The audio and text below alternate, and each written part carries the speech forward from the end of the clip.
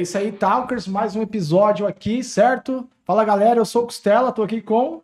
Michel, Tazelli pro mundo. Tá certo. E estamos, estamos né, com a grande convidada, desde longa data que eu conheço, que é a Renata Prado, que eu vou, né, antes de tudo, vou já apresentá-la aí parcial, você vai dar continuidade, que ela é dançarina, é funkeira, né? O mais importante é professora, certo? E também é a primeira dançarina de funk, como eu falei, a dançar no Teatro Municipal aqui de São Paulo. E também as outras considerações que trabalha com, com ONG, causas sociais. Talvez eu possa titular, talvez seja meio polêmico aqui falar um pouco sobre. é, ela é feminista, né? Aí você vai me corrigir. Então, aqui agora, Renata Prado.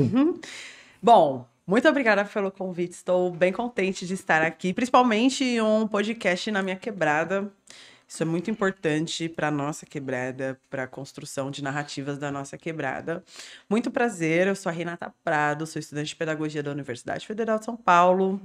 Ah, faço parte de uma frente política que se chama Coalizão Negra por Direitos. Eu sou militante do movimento negro há pelo menos uns 10 anos. Eu ia falar isso com ênfase. Militante. Mas Também Passou. sou feminista, é, tenho os meus posicionamentos políticos dentro da área da educação, até mesmo dentro do funk. eh, faço diversos trabalhos relacionados a funk, cultura, direitos humanos, dança, produção e um monte de coisa que aparecer e que eu puder fazer, eu vou fazer. eu tentei decorar todas as coisas que também estavam produtora, mas, né, como eu falei, Ah, não me vai, ajudou. não vai ter como, não vai ter como. Ah, tá certo. Você vê, se, se você que associa que quem sabe dançar é burra, aqui hoje você vai cair do cavalo, É. né? Ah, Aqui vai é cair do verdade. cavalo. Tá certo. Antes do nosso papo continuar aqui, né? A gente não que vai dar uma pausa, mas a gente lembrar você de deixar aí um positivo, se inscrever, tem aquelas né, leituras é, que a gente sabe que a maioria das pessoas que assiste a gente, infelizmente, ainda não se inscreveu. Então, aí sua oportunidade. É, o Facebook é o Não, dedo de seta, né? é, eu não digo da- da não, oportunidade, Instagram. mas- Instagram não, o YouTube. Poxa vida, se, se inscreva aí, né? E também tem uma questão do grupo. Tem é o seguinte, se você quiser trocar ideia com a gente, mandar pautas ou convidados, a gente vai deixar aí um, um link pro grupo na, eh, na descrição. E aí você clica lá, vai entrar no nosso grupo e vai trocar ideia bacana aí com, com a gente, beleza? Tá certo. Deluna também é agência de marketing digital, tá? Para você que vai entrar no meio aí da, da internet, como é um li- linguajar mais grosso, né? Que eu, quando fala do linguajar, eu sou do tipo que falo navegar na internet, sabe? Então, você que precisa ser atualizado, né? Então é a agência Deluna aí, dá toda uma, um apoio, falar de algoritmo, como funciona e tal. Então, agência Deluna, É tá isso aí. certo? Pô, já vou começar aqui algo mais recente, que tava lá dando aquele stalkeado Uhum. no seu Instagram, né? E eu vi que teve a parada lá que você fez com. Caralho, me fugiu o nome agora? Da Globo, Profissão repórter? Profissão Repórter, isso. Pô, conta um pouquinho como é que foi lá participar do Profissão Repórter. Cara, foi muito interessante participar do Profissão Repórter, porque é uma plataforma da Globo que.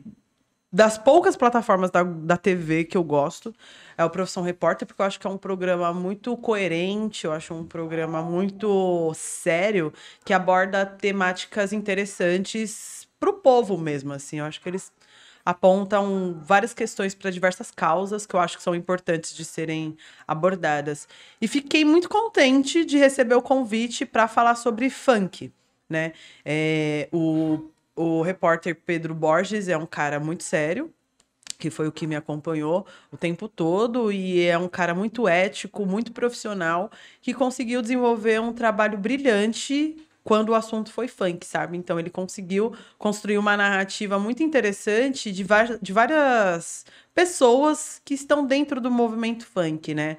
É, eu, a MC Drica, os artistas da Love Funk, essa questão da mistura do samba com o funk, porque a gente sabe também que faz parte de uma cultura da periferia. E teve uma repercussão muito boa, assim, de mostrar o lado positivo do funk, porque infelizmente o que a gente vê na mídia sobre funk não é umas coisas Muito legais, atrativo, né? Então, é, mas tá mudando um pouco.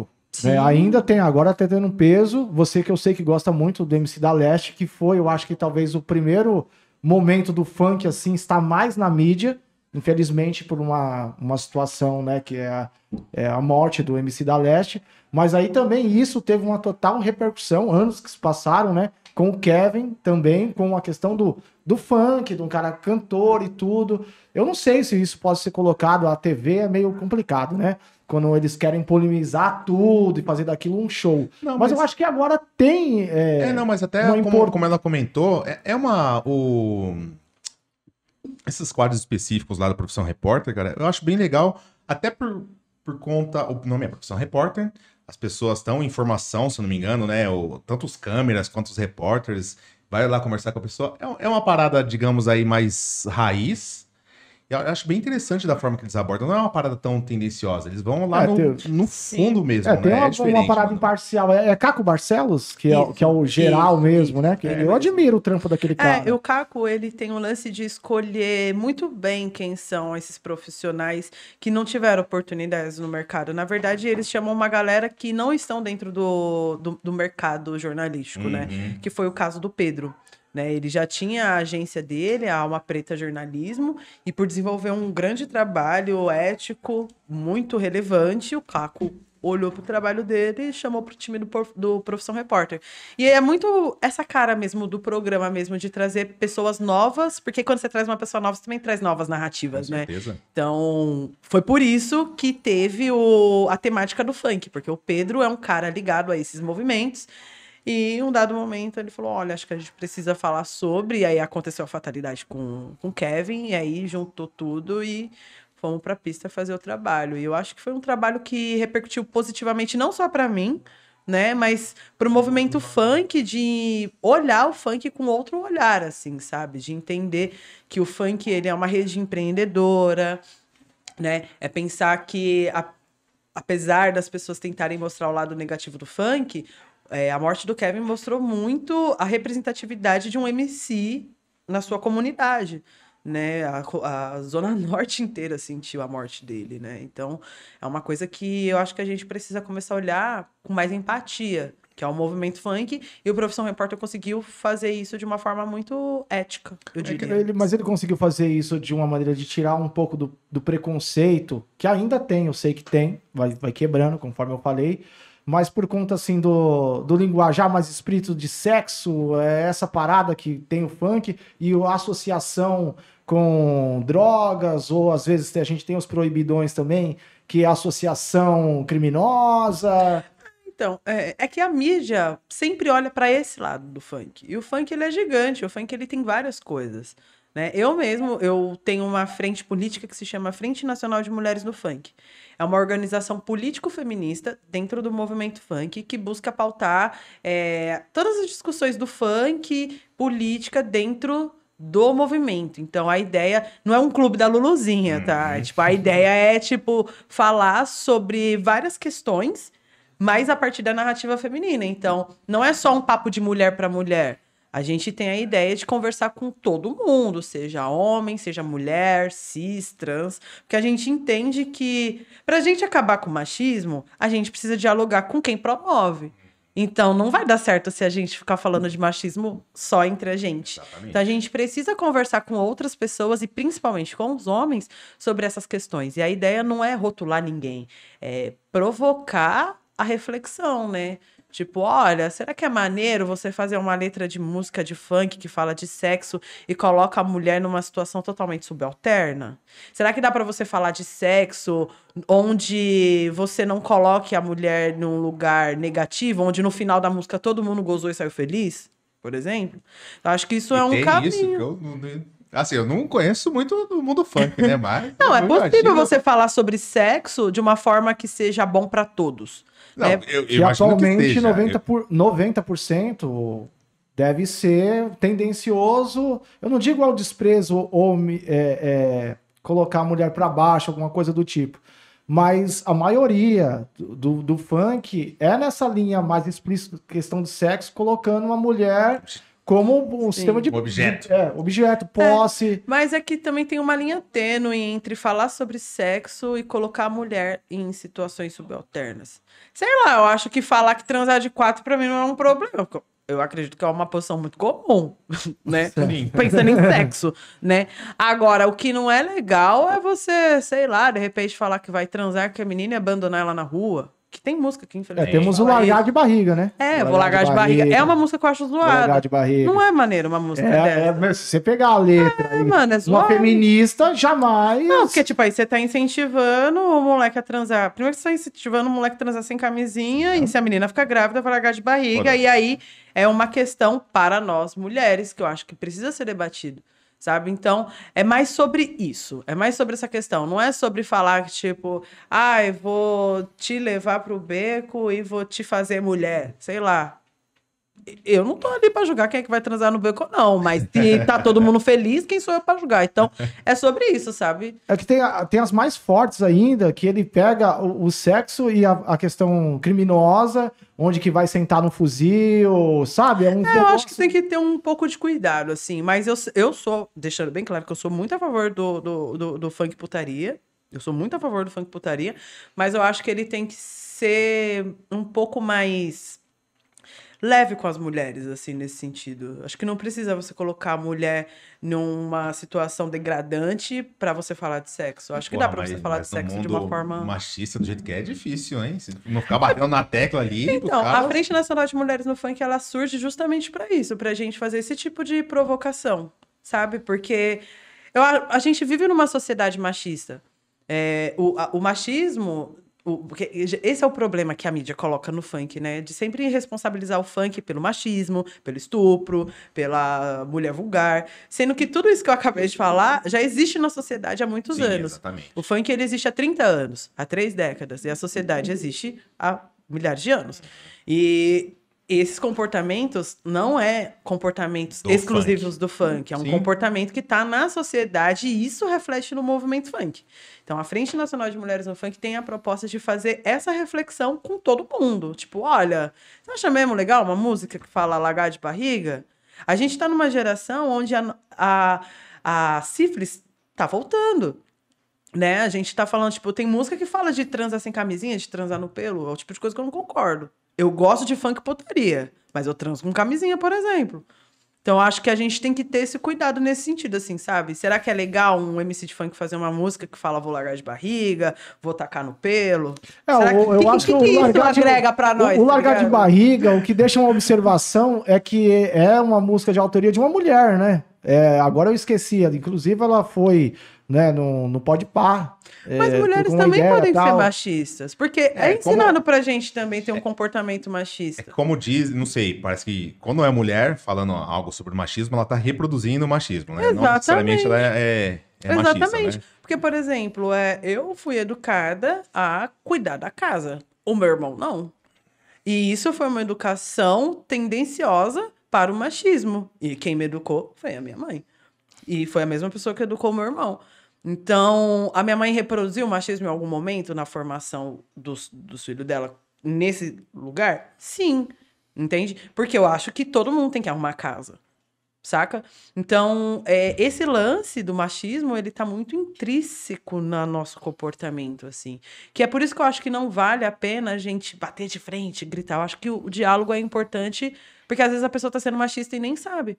Então, Talvez eu- se minha mãe assistir esse, esse podcast, ela vai refletir sobre. Falar, puta, é verdade, mano. Por que, que eu não ensinei o Renan a lavar a louça desde cedo e só ensinei a Renata? Uhum. Sabe? E talvez a partir disso ela vai refletir que, de uma forma gen- sem querer, Mas assim, Inocente, eu, eu acho não- que os nossos pais ainda, ok, eles não tinham a mesma informação que a gente. sim, Porém, hoje a gente, tá em outra Mas a- era. Então, mas aí a informação está começando a surgir, fomentar agora a respeito de várias discussões que são Assim que a causas sociedade feministas que estão colocando. Né? Eu tenho vários pontos é, é, que, não sei vários, né? Que eu venho mudando bastante, mas ainda é considerado machista.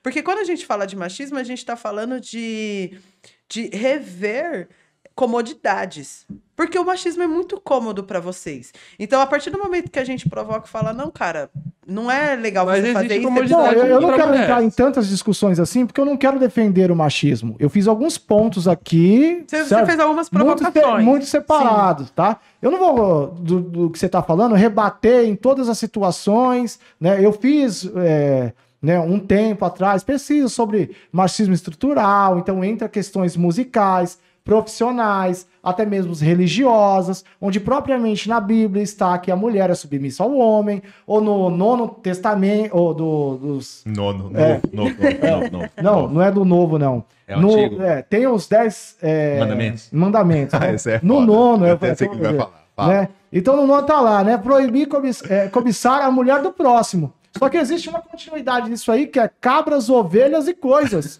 Então se coloca, não é o que estou dizendo, tá, gente? São situações religiosas, onde né, Deus se coloca essa situação, a mulher junto É. com animais e, é, e Coisas. coisas como um objeto. Então, isso vem em situações estruturais, a gente falando, onde também a mulher não tinha o desejo sexual. Ah, Eu imagino que no tempo do meu avô, se a minha avó chegasse pra pegar no pau dele, era treta. Bom, eu Tá não sei. Primeiro que eu sou. Primeiro que eu nem cristã sou, sou macumbeira, sou do candomblé, então eu acho que Certo. no, no parte- eu, eu nem Não, faço ideia do. Tudo bem, mas Dessa assim, tá falando. o, o que mais é colocado nisso daí, dentro do machismo, como eu falei, religioso, e pontuar outra situação também, é que o desejo, a mulher não poderia ter o desejo sexual. Se a mulher fosse procurar Ai, o homem, tô Né? dizendo de tempos Tadinha. atrás, tempos atrás, tá? Era uma associação. O cara já, tipo, não gostava. Porque Ó, por era exemplo, ele vocês que tinha falaram, que o Bola procurar. falou sobre o lance da. Ah, porque o, o- é foda como coloca como agressivo e tal, não sei o quê. Mano, a gente se conhece pelo menos. Pelo menos uns 15 anos. Sim. Pelo menos uns 15 anos. Você lembra quando a gente dançava? Cara, a gente dançava com uns shorts desse tamanho aqui, ó. Desse tamanho. Eu sempre tive Eu corpo. dançava de calça, tá, gente? É uma parte Ele feminina. dançava de. Não, ele dançava de colocou calça o assim, ó. O costela é costela, assim. É, é Bem costela magrinho, mesmo, assim. magrinho. É- é- era uma costela e uma calça. Era costela. E aí, brincadeira, vamos amigo. Não. Tá maravilhoso. Não, mas é. Mas é porque. Mas, por exemplo, é, eu fui rotulada inúmeras vezes, incansavelmente de vezes, de vagabunda, porque eu subia no palco dançando daquele jeito. Eu tenho 31 anos e eu continuo dançando do mesmo jeito. E, tipo assim, não é a música, não é a dança, não é o, o- a roupa que vai definir se eu sou vagabundo ou não.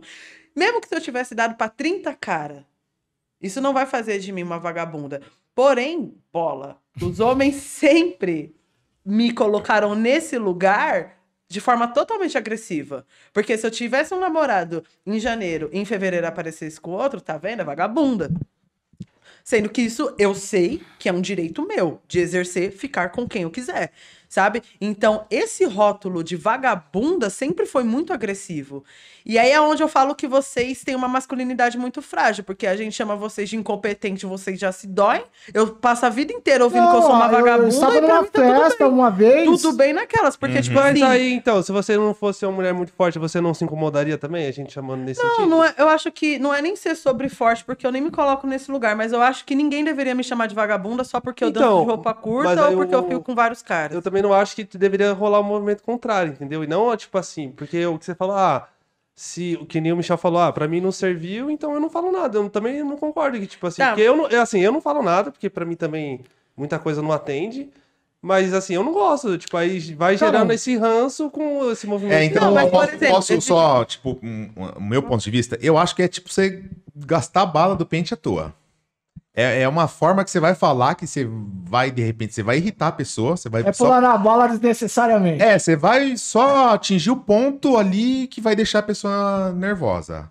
O Meu ponto de vista. Não, mas- Não vai agregar pra pessoa, a pessoa Não, vai eu ficar acho com que raiva. qualquer tipo de rotulação não agrega. Seja chamando a mina de vagabunda, seja chamando o cara de, inútil. de, de então, só inútil. que assim, o cara ele não vai pensar por que, que eu sou inútil, ele só vai ficar puto. Exato, é inconsciente Exatamente. às vezes. Agora, até. nós não. Ah. A gente leva a culpa. A gente leva a culpa do tipo, caralho, mano, é mesmo. Vou parar de me arrastar. Eu vou me reprimir pra ficar com você, porque eu já namorei com ele. Hum. Sendo que eu posso ter o direito de ficar com você, de ficar com ele, ou se eu quiser, eu fico com os dois. Se for um consenso entre nós três. Entendeu? Mas pra ele, eu vou ser uma vagabunda se eu estiver saindo com vocês dois.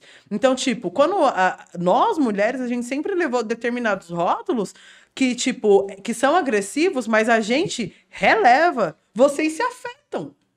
Vocês se afetam com Não, qualquer coisa. não, não, pera aí. Quando você coloca vocês. Vocês também- homens, não é você. Entra- Você- é, tudo Vocês bem. homens, Entra Não, eu, eu, ia, tá? eu ia falar uma outra questão, que nem eu, eu ia falar que, novamente, eu bater na, na mesma tecla. Eu acho que é mais ou menos você, tipo, sei lá, você tem um animal de estimação. Mas eu vou tentar. Vamos lá. Vamos lá. Vamos lá. É mais ou menos, você vai, situação. na verdade, você vai, tipo, só passar um pouco da sua raiva. Tipo, de, eu dizendo, Pega tipo, do lado também, dela. por favor. Pra mim também. Do lado dela, tipo, ela vai passar um pouco da raiva. Ah, já que me chamaram de vagabundo a vida inteira, vou falar que homem é, é inútil.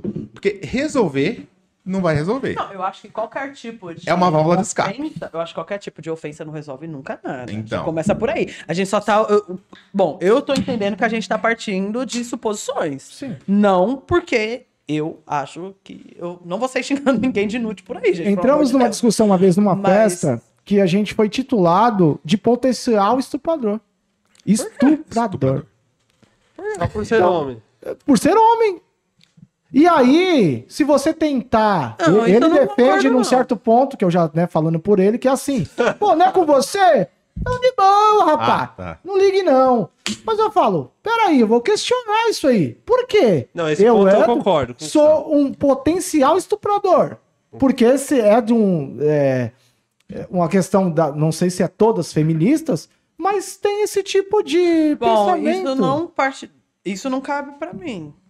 Como tal a cultura. Meu irmão é um homem meu irmão ele teve uma educação muito ok em relação a isso, por exemplo. Tanto é que quando o assunto é esse, eu e ele concorda, a gente tá do mesmo lado.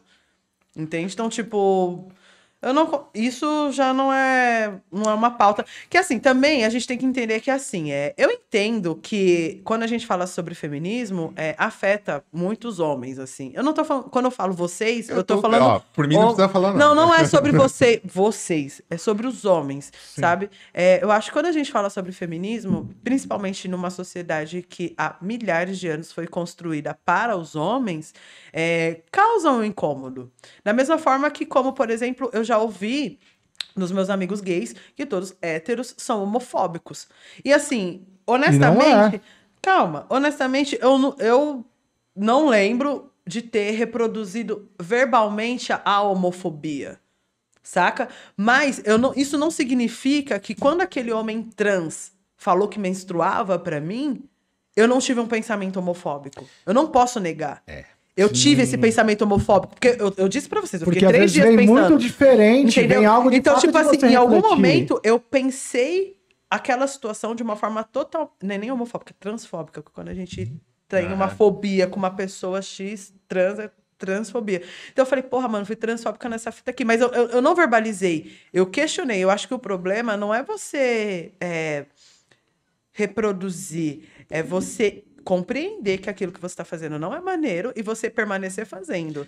Esse é o problema. É o Não, que é eu que eu acho- policiando. Não, mas assim, ó, é que eu acho a mesma coisa, tipo, que eu dei um exemplo lá do, do, do- do machismo. Um exemplo. Não quer dizer que você não é homofóbico só porque você não odeia gay. Eu acho que o simples fato, de repente, eu não sei se a gente tava, já tava on aqui, tava gravando, ou foi em off. Que a gente falou que a gente foi numa reunião, e aí a mina foi e falou que era tudo É. hétero. E aí você foi e falou, ah, o Elton nem tanto. Já é uma piada. Então já é uma que piada por quê? é- Você quer, tipo, diminuir Ó, ele. vamos porque- trazer pro, pro cenário racial, por exemplo. É, eu sofro muito racismo sem as pessoas perceberem que elas reproduzem racismo comigo. Racismo não é só você virar para uma pessoa negra e falar, ah, vai, eu sou macaco do caralho. Você tá verbalizando racismo. Agora, quando você me contrata, vou, tra- vou trazer um exemplo. Eu já fui contratada por grandes empresas que, para mim, eles pagaram um valor X e para influencer branca eles pagou dois valor X. Aí eu, ah, mas peraí, mas por que que isso tá acontecendo aqui? Nós duas não tá fazendo o mesmo trabalho. Por que, que eu tô recebendo menos e ela tá recebendo mais, sendo que a gente tá fazendo exatamente o mesmo trabalho? E aí eu fui começar a perceber que no- nesse meio, vários influencers negros passavam pelo mesmo problema. Entendeu? E aí, nenhum dessa galera, nenhum dessa galera me- que me contratava falava, ah, sua neguinha macaca do caralho. Nunca, eu nunca passei por esse tipo de situação, ass- assim, visivelmente, sabe? Mas o fato daquela pessoa me pagar menos e pagar uma pessoa branca mais é uma forma de você colocar o seu racismo em prática. Por que, que eu não sou merecedora do mesmo valor de trabalho, uma vez que a gente está executando o mesmo trabalho? E pensando numa sociedade como o Brasil, por exemplo, porque economicamente falando, o racismo, o, o Brasil ele foi construído numa estrutura racista. Os, fo- então tá, então os portugueses vieram pra cá, escravizaram os índios. Lembrando que escravização é mão de obra barata, barata não, né? Mão de obra de, graça, Com presente. entendeu? Não contente com isso, eles foram lá, olhou pra África, ah, vamos escravizar esses daqui também. Pegou um monte de preto lá na África, trouxe pra cá e falou: bom, agora nós portugueses vamos escravizar negros e índios. E aí a gente tem uma estrutura econômica que está acostumada a não pagar negros e índios. E aí quando eu chego nas grandes marcas, nas grandes produtoras, eles ainda continuam me pagando menos que uma pessoa branca. E isso é racismo. Em nenhum momento ninguém fala, vai trabalhar de graça, neguinha macaca do caralho. Não Você tá precisa ser entendendo? Entendo. dito pra ser, né? Você tá entendendo? Então, tipo assim, é, quando. Se eu viro pra aquele homem trans e falar, ah, mano, para de zoeira, mano. Que mané homem menstrua. Porque eu não entendo a realidade daquele sujeito, mesmo de uma forma inconsciente, eu tô sendo transfóbica. E aí eu acho que é esse lance que a gente precisa entender, tá ligado? Tipo, da gente ouvir e refletir. O problema de quando a gente, nós feministas, quando a gente fala para os homens, é porque vocês são muito afetados. Qualquer coisa que a gente fala, não, mas não é isso, não é aquilo. Cara, se não serve pra você, só não vestir a carapuça. É muito simples. Se você é o cara que chega em casa e fecha com a tua mina e faz os bagulho, pá, tudo direitinho, faz os bagulho. Ou seja, com a sua mina, com a sua mãe, com a sua irmã, com a sua filha. Se tem alguém falando de uma situação que não cabe pra você, você não precisa se doer. E deixa eu perguntar, acho que até E fiz. aí esse é o problema. Quando se dói é porque tem alguma coisa. Até acho que eu perguntei lá no começo, mas, por exemplo, você acha que tem feminista de, de rede social que queima bala à toa, que fica falando em coisa que de repente. Cara, eu acho que tem gente emocionada. tão sentido. Eu acho que tem sentido. gente, eu acho que existe gente emocionada em todos os lugares, assim, sabe? Eu acho E esse que tem... acha que queima o filme de quem tá na, na Sim, luta ali de verdade claro, todo claro. dia. Porque, por exemplo, eu não, eu discordo de qualquer feminista que fale que todo homem é estuprador. Um Entendeu? potencial Apesar, estuprador. apesar que é, a gente sabe que tipo, é, é muito louco, né? A gente conhece um monte de mulher que já foi estuprada, mas a gente não conhece nenhum homem que estuprou. É Uhum. incrível. É incrível. É, assim, precisa ser estudado isso. Isso daí tem a ver Né? com a tal cultura do estupro? Total. Total. Porque, tipo assim, é, vamos imaginar que se- você tem um. Vocês são amigos, eu sou sua namorada, a gente foi pra uma festa, eu bebi todas, eu estava de uma, de uma situação que eu não conseguia abrir o olho, e você resolveu transar comigo sem o meu consentimento. Mas eu sou seu namorado. É, e namorados também estupram. Numa situação como essa, por exemplo, é um estupro. Eu estou bêbada, eu estou inconsciente e você fez um ato sexual comigo. De uma forma totalmente consciente. E aí eu viro pra ele e falo: Poxa, mano, você acredita? O Costelo foi um filho da puta, mano. Ontem Temos eu até dormi um com funk ele. disso, né? Que é o vai tomar dormindo. Vai, vai tomar É uma dormindo. música que eu não acho legal, por exemplo. Aí eu falo, porra, mano, Costela foi mó filha da puta comigo. Você acredita que ontem a gente dormiu? E aí eu tava bêbada, voltando da festa e tal. Ele transou comigo, ainda gozou dentro. Porra, mano, vai se fuder, cara. Aí, em vez de você falar, pô, mano, o Costela foi mó zoado do caralho, sabe o que você vai fazer? Ah, relaxa, calma, vocês não são namorados? Mano, É eu vou falar que o isso, meu tá machismo ligado? tá aí porque eu ia falar isso. E é por Então, isso que é necessário vocês ouvirem a gente Mas quando a vocês gente não fala namorados. Então, assim, eu tô, eu tô sendo muito honesto aqui, tá? Sexo com nesse- qualquer nesse pessoa que esteja com namorado ou não tem que ser consentido. Consentimento. Seja com qualquer pessoa. Seja qualquer pessoa. Seja seu namorado, seja seu marido. Não é porque você é meu namorado que você vai transar comigo na hora que você quer. Eu, eu acho, assim, que... Pelo que eu vejo, as feministas de, só de rede social acaba queimando um pouco, mais uma vez, pulando na, na, na bala na hora que não precisa pular. Desnecessário. Desnecessário, mas eu acho que fica batendo em teclas, mano, que de repente não vai fazer tanto sentido. Ah, eu uso o meu. Eu tenho pelo no meu sovaco. Mano, quer ter, tenha também. Mas acho que tem umas questões que são bem mais sérias e bem mais complexas do que de repente você falar, ah, eu quero ter pelo na, pel, é, pelo na perna, no sovaco. Por exemplo, falando na questão de estupro, porra, no Brasil, mano, é estupro a cada oito minutos, mano. É, eu desconheço esses É, dados. agora você tá no anuário. saber essa origem da cultura do, do o país estupro. é o país, o Brasil é o país que mais exercita a cultura do, do estupro, nacionalmente e internacionalmente. Mas assim, para falar é- de cultura do estupro, por quê? É, é um negócio muito obscuro, porque por exemplo, a maioria, eu, eu, eu coloco cultura como uma questão de tempos passados, onde existe uma tradição daquilo ali e costumes, isso é uma O cultura. estupro Mas- no Brasil, Não, ele é Mas o homem colocar como isso aí, não é que eu tô querendo Sabe por que você tá defender, assustado? eu, tô, Não, eu só tô querendo tá entender. Sabe por que você tá assustado? Eu Porque acho você um não é esse tipo de pessoa que do faz... estupro estranho. Então, é que você, acredito eu, que você é uma pessoa que não pratica isso daí. Não. Entendeu? Então, tipo assim, eu tô imaginando. Então, é por isso que eu tô falando que pra você é um bagulho que, tipo assim, como? Como que isso é uma cultura? Eu acho isso um absurdo. É desse porque vem ponto de partida é que você são tá falando. costumes, Só que, né? por exemplo, imagina que a gente, o Brasil é o país do carnaval e do futebol. É, a fama das brasileiras no Brasil, por exemplo, é, internacionalmente falando, é que os gringos eles vêm muito pra cá por conta do. do como é que fala? É, Carnaval. não, como que é o nome que a gente fala? Putaria, zona.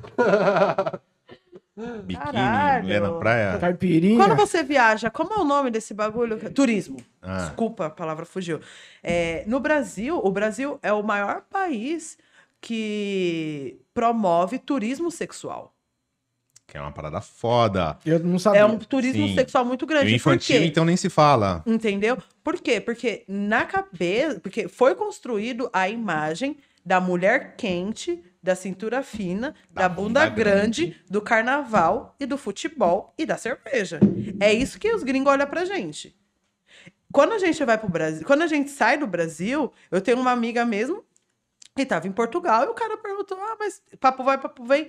Ah, papo... mano, a menina é professora da UFRJ. Professora da UFRJ. Papo vai, papo vem, papo, papo. Ah, mas de onde você é? Sou do Brasil. Ah, mas você é puta? Porra, mano, a menina Não, aí é é professora. Mas, e tipo assim, eu, eu tenho certeza que esse maluco não, não falou pra ofender. Na cabeça dele, toda brasileira é puta. Dessa forma. Porque é essa imagem que é vendida da Mano. gente. E de fato, se a gente for olhar, quando a gente fala na construção do nosso país, ele é construído nessa base. Porque é isso. É, é, a gente está falando de um país miscigenado, onde tem negros, brancos, índios e tudo isso misturado. Certo? E aí, é, essa mistura, ela tem um porquê. E eu não. eu- e assim, eu, eu sei do que eu tô falando, gente. Isso tem um porquê. É, Essa miscigenação, ela não é um, um fruto romântico de tipo, ai, casamentos, Que em- lindo. que lindo, um homem negro, uma mulher branca e tal, não sei o quê. Não, gente, sobre isso, foda-se, cada um fica com quem quiser, não é sobre isso.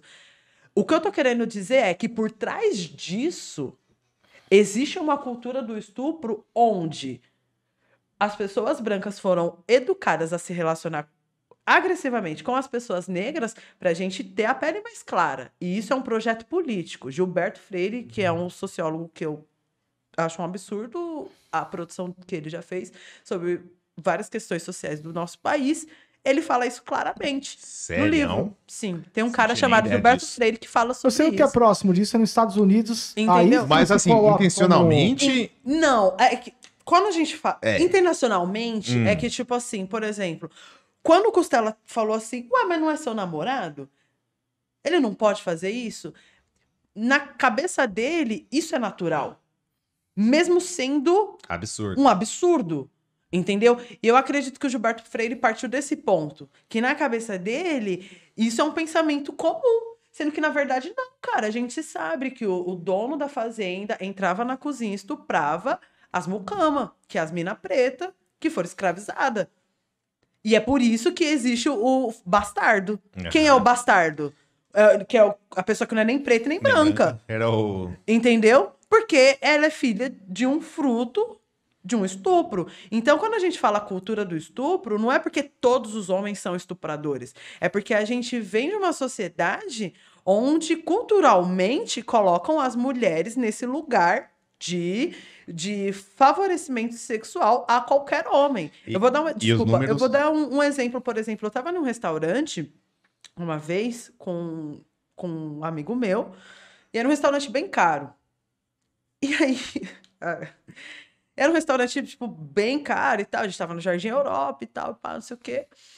E, mano, eu e ele conversando numa boa, quando de repente um cara levantou da mesa que ele tava, veio até eu e esse meu amigo e falou assim: Nossa, ele falou pro meu amigo, falou: Nossa, com licença, essa moça é muito bonita. Quanto você paga? Ô, louco. Eu tava no Jardim Europa, um dos bairros mais caros de São Paulo, acompanhada com um homem, e automaticamente esse cara imaginou que eu era uma prostituta. E aí, foi o que eu falei pra esse meu amigo. Eu falei, cara, o racismo é tão foda porque aqui tem um monte de mina branca e esse maluco só veio na nossa mesa falar sobre isso. Porque eu correspondo o padrão. Ele foi muito eu- direto. Não, eu correspondo o padrão físico da mulata do carnaval. Você tá entendendo? Uhum. Então, qualquer mulher que tem o meu padrão físico é uma puta. Eu não posso ser estudante de pedagogia da Universidade Federal de São Paulo, eu não posso ser uma dançarina de funk, eu não posso ser uma produtora. Não, eu sou puta. Porque, culturalmente, na cabeça desse maluco, mulheres como eu são prostitutas. E isso é fruto de uma cultura de um estupro. Porque hoje ele perguntou pro meu amigo quanto ele pagava. Se fosse há 500 anos atrás, ele só ia chegar, me pegar, me levar pra algum lugar, me Ah, estuprar. Eu ia, eu ia tentar falar alguma coisa. Não, de novo, tá, gente? Tô tentando defender machismo aqui. Tudo bem. Mas eu ia falar isso aí que foi de um ponto ao outro, né? Do prostituição para o estupro. Que Mas é que existe uma isso- diferença aí. Não, existe Mas uma aí diferença, mas além- tem um Se esse, esse Tem um pensamento porquê. dele há anos atrás. Então, e aí quando a gente fala de machismo, é sobre isso, tá ligado? Tipo, não é sobre o posicionamento do sovaco da menina cabeluda. Tá ligado? Gente, eu raspo o sovaco, ó. Tá? não é sobre né? isso. É, foda-se, mas eu também acho que isso não tem que ser uma pauta. Uhum. Você tá entendendo? E aí eu entendo quando vocês falam que vê umas minas bater na nave na internet. Porque, desculpa, eu sou feminista sim, mas não sou eu que vou ficar na internet falando do sovaco cabeludo e nem da buceta cabeluda. É. Entendeu? Então, tipo assim, Porque tem, números muito mais Quando, alarmantes. que isso. eu acho que tem coisa muito Violência você o Você tá ligado? protesto e levantar. Não, isso não vai. Não, até porque isso. A gente. O que, que isso vai contribuir? Eu mostrando os peitos. No... Não tô dizendo que, que as pessoas não têm que mostrar os peitos. Cada um faz o que quiser com seu corpo, foda-se. Mas assim, qual o resultado político Até que porque se mostrar a gente for parar pra pensar que se as minas mostrar o peito também é igual, nossa, que é maior. Não, é igual, mas tipo assim, mas o que, que vai mudar? É, eu não sei qual é a origem. Aí entra toda essa questão Não, de tipo assim, machismo. eu fico pensando, não, do- tipo assim, você tá num protesto, marcha das vadias. Você vai, levanta os. Tem Tá, isso? mano, Tem, tem. né? Tem. Então, Tem, né? movimento. Tem. a Não, é. Tem va- vadia? Tem, então. Tem não. É sobre isso, tá ligado? Tem uma, uma marcha que se chama Marcha das Vadias. Que é justamente. Você pra- tá de brinks. Deixa eu perguntar, o que que é uma mulher vadia pra você? Boa pergunta. O que que é uma mulher vadia? Porra, eu vou. Pergunta pra ele. Não, que é uma nossa, eu vou ficar encabulado agora. Eu vou tentar maquiar a minha, a minha resposta. Ah, não agora você já falou que vai maquiar, agora você tem que soltar a voz. Ah, então não, eu falar vadia, eu ia associar a vagabunda. Eu posso falar. Uma mulher vadia, pra mim, pra mim, uma mulher vadia é uma mulher que não trabalha. Então, mas aí, peraí. Aí a gente vai no marxismo estrutural, que tá bem falado aqui, sobre o linguajar, que entra o quê? Se o, o cara falar, ah, o cara é um garanhão, aquele ali é um cara, um, né? Agora a mulher não, aí a mulher já é galinha, piranha. Se o cara é um pistoleiro, o cara tira bem. A mulher pistoleira já, entendeu? Agora você mulher percebe que tudo que é vagabunda. pra mulher- O cara, ô, o cara vagabundo. zoado. Ou o cara não tem trampo, né? Entendeu? Vadio e tal. Então, Uma o machi- mulher vagabunda você já tá é. descrevendo o que é o machismo na nossa sociedade. Você acabou de descrever o que é o machismo na nossa Mano, sociedade. minha mãe é machista pra caralho, porque minha mãe tem uma palavra que eu não sei de onde que ela tira, que a- aquela ali é uma vagaranha. Vaga... Mistura de vagabunda com piranha. Era isso que eu ia falar. Sabe? Eu não... Não, mas isso que você acabou de falar é o reflexo do machismo, entendeu? E tipo assim, é o Marcha das Vadias, elas têm esse nome de Marcha das Vadias justamente pra dizer exatamente o que você tá falando. Ah, você tá falando que eu sou vadia, então eu vou mostrar que eu- o que é ser uma vadia. Então eu vou pra rua sim, vou lutar pelos meus direitos. Tem situações Você quer- agressivas que até faz uma parte de. Eu não sei se é meme, mas assim, viraliza aquela foto que a mulher ela coloca situações ali que é disso aí mesmo, que ela tá querendo dar pra quem ela quiser e tudo mais. Que ao- aos olhos do machista é uma afronta, falando, porra, olha o que a mulher tá fazendo. Hum. Tá, mas onde... desculpa, É, eu, eu- não, não, não peguei onde você quis Então, chegar. nem eu peguei. Eu só sei que as mulheres colocam umas frases, o Elton sabe. O Elton, Mas então, eu acho que você tipo tá assim, partindo- coloca uns negócios que é Então- isso aí mesmo, só cachorra mas então- mesmo, e lá- sabe? Não, mas uns então, eu acho negócios... que você tá partindo de um ponto muito... Muito raso. Não, eu não sei se é raso. Eu sei que as Não, mulheres. Eu, eu- eu você tá viraliza. falando. Eu recebo isso no WhatsApp, no grupo de uma par de cara que. Sim, sim, que eu entendi o que pode você ser tá titulado falando. machista. O que você tá falando é... Sabe a fake news da política? Hum. Você tá falando da fake news do, do feminismo. Então, vamos esclarecer isso. Entendeu? Porque, por exemplo, a gente está aqui conversando sobre feminismo e eu trouxe vários dados interessantes. Eu trouxe todo um conceito, um conceito não, né? Uma historicidade que, a- que o nosso país sofre. Eu parti de não só de dados, mas de fatos históricos para responder as perguntas que vocês estão me fazendo.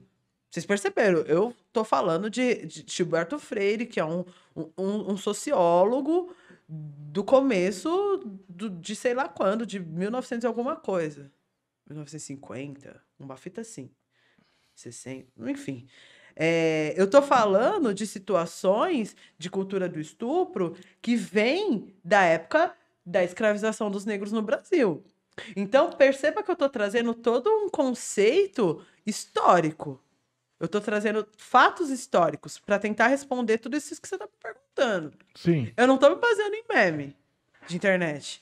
Sacou? Não, então, eu- tudo isso que você eu, tá falando. eu ainda falei que você não sei se é Não, meme. Eu sei que bem. viraliza Não, de uma bem. certa Não, maneira o que eu tô falando que as não é uma têm crítica. cartaz onde elas colocam frases. O que eu tô falando pra você, tipo, eu não tô criticando esse seu ponto de vista, não é isso. Eu entendi o que você tá falando. O que eu estou querendo dizer é que feminismo é muito além disso daí que você tá me trazendo. Percebe que eu tô trazendo fatos históricos e eu tô explicando Sim. por que, que existe a cultura do Tanto estupro? que eu acho plausível a questão do feminismo, de brigas, da questão da mulher. Se não, até hoje a mulher nem dirigia, não trabalhava. Exatamente. Tinha que ficar em casa lavando louça, né? Isso vem de lon- longa data. Então eu acho plausível sim. E até acho que uma certa radicalidade, que se você me perguntar quais são as, eu não vou saber responder, Hum. mas eu acho que é isso, para ter ali o- os direitos, que ainda eu considero sim que não são iguais, apesar de ter situações, como eu falei, é, questão profissional, que ainda em si, eu não sei dizer, eu não tenho esses números para falar. Será que a mulher ganha mesmo é, menos do que o Sim. homem, É, fazendo a mesma, Sim, fazendo sim. o, o mesmo trabalho e tal? Então, eu não sei, as pesquisas falam Sim. que isso então, Então, é. quando a gente fala sobre machismo, não é sobre igualdade, é sobre equidade. É sobre isso, é sobre equidade. Que a mulher se aposenta um Sabe? pouco menos do que o Porque- homem, sabe? Tem um... Não tô dizendo que, ah, então da hora. Não tô Não, querendo o que eu tô defender querendo isso. dizer é sobre equidade, tá ligado? Tipo, a gente vai prestar uma prova de vestibular. Você é de uma escola particular, eu sou da escola pública. As nossas chances de passar no mesma prova é totalmente diferente. Entendeu? E é por isso que eu, eu sou a favor das cotas. É por isso que eu sou a favor das cotas. Eu também. Por quê? Poxa, se você que teve tudo, Mas da Consegue cota aceitar? racial ou da cota, por As exemplo, duas. por. As duas. E eu vou explicar o porquê que eu sou a favor de cota racial. Eu acabei de dizer pra você qual que era a situação dos negros no Brasil há 500 anos atrás. Uhum. Eu sou uma pessoa, eu estudo na Universidade Federal de São Paulo. Eu não entrei por cota. E não tô dizendo que. e quando eu falo que eu não entrei por cota, não significa que eu não concordo com a cota. Significa que. Co... Por que, que eu não entrei por cota, na, na- na- por cota na universidade? O meu curso são 60 vagas. Dessas 60 vagas, 10 vagas são para cotistas. Essas 10 vagas são duas indígenas, duas negras, duas escola pública, duas cadeirantes, é, PCD, duas sei lá o quê. Uhum. E são 60 vagas. Dessas 10 vagas, existe todas essas diferenças de cota. E aí tem mais 50 vagas para o sistema comum. Uhum. Entendeu? Porque a cota é necessária, fundamental, para a gente buscar a equidade social no nosso país. Porém, a forma que ela funciona não colabora. Porque se eu fosse disputar o sistema de cotas, que eram duas vagas, para mim não faria o menor sentido, porque tinha 50 vagas ali. Então, de acordo com a minha nota, eu falei, mano, se eu entrar por cota, eu vou tirar a vaga de um preto. Então, eu vou entrar no sistema universal, porque aqui sobra vaga. E eu tinha nota para isso. Saquei. Então, eu entrei no sistema universal, tá ligado? E aí sobrou as cotas. Mas aí pensa, você acha que duas vagas para pessoas negras num curso de 50 pessoas, de, num curso de 60, 60. pessoas, onde 50 delas a gente já tem a certeza que são pessoas brancas de escola pública, de escola particular, você acha que a gente tá buscando uma igualdade? Não. Até onde. Então, eu sou a favor das cotas, mas eu acho que elas precisam ser muito maior.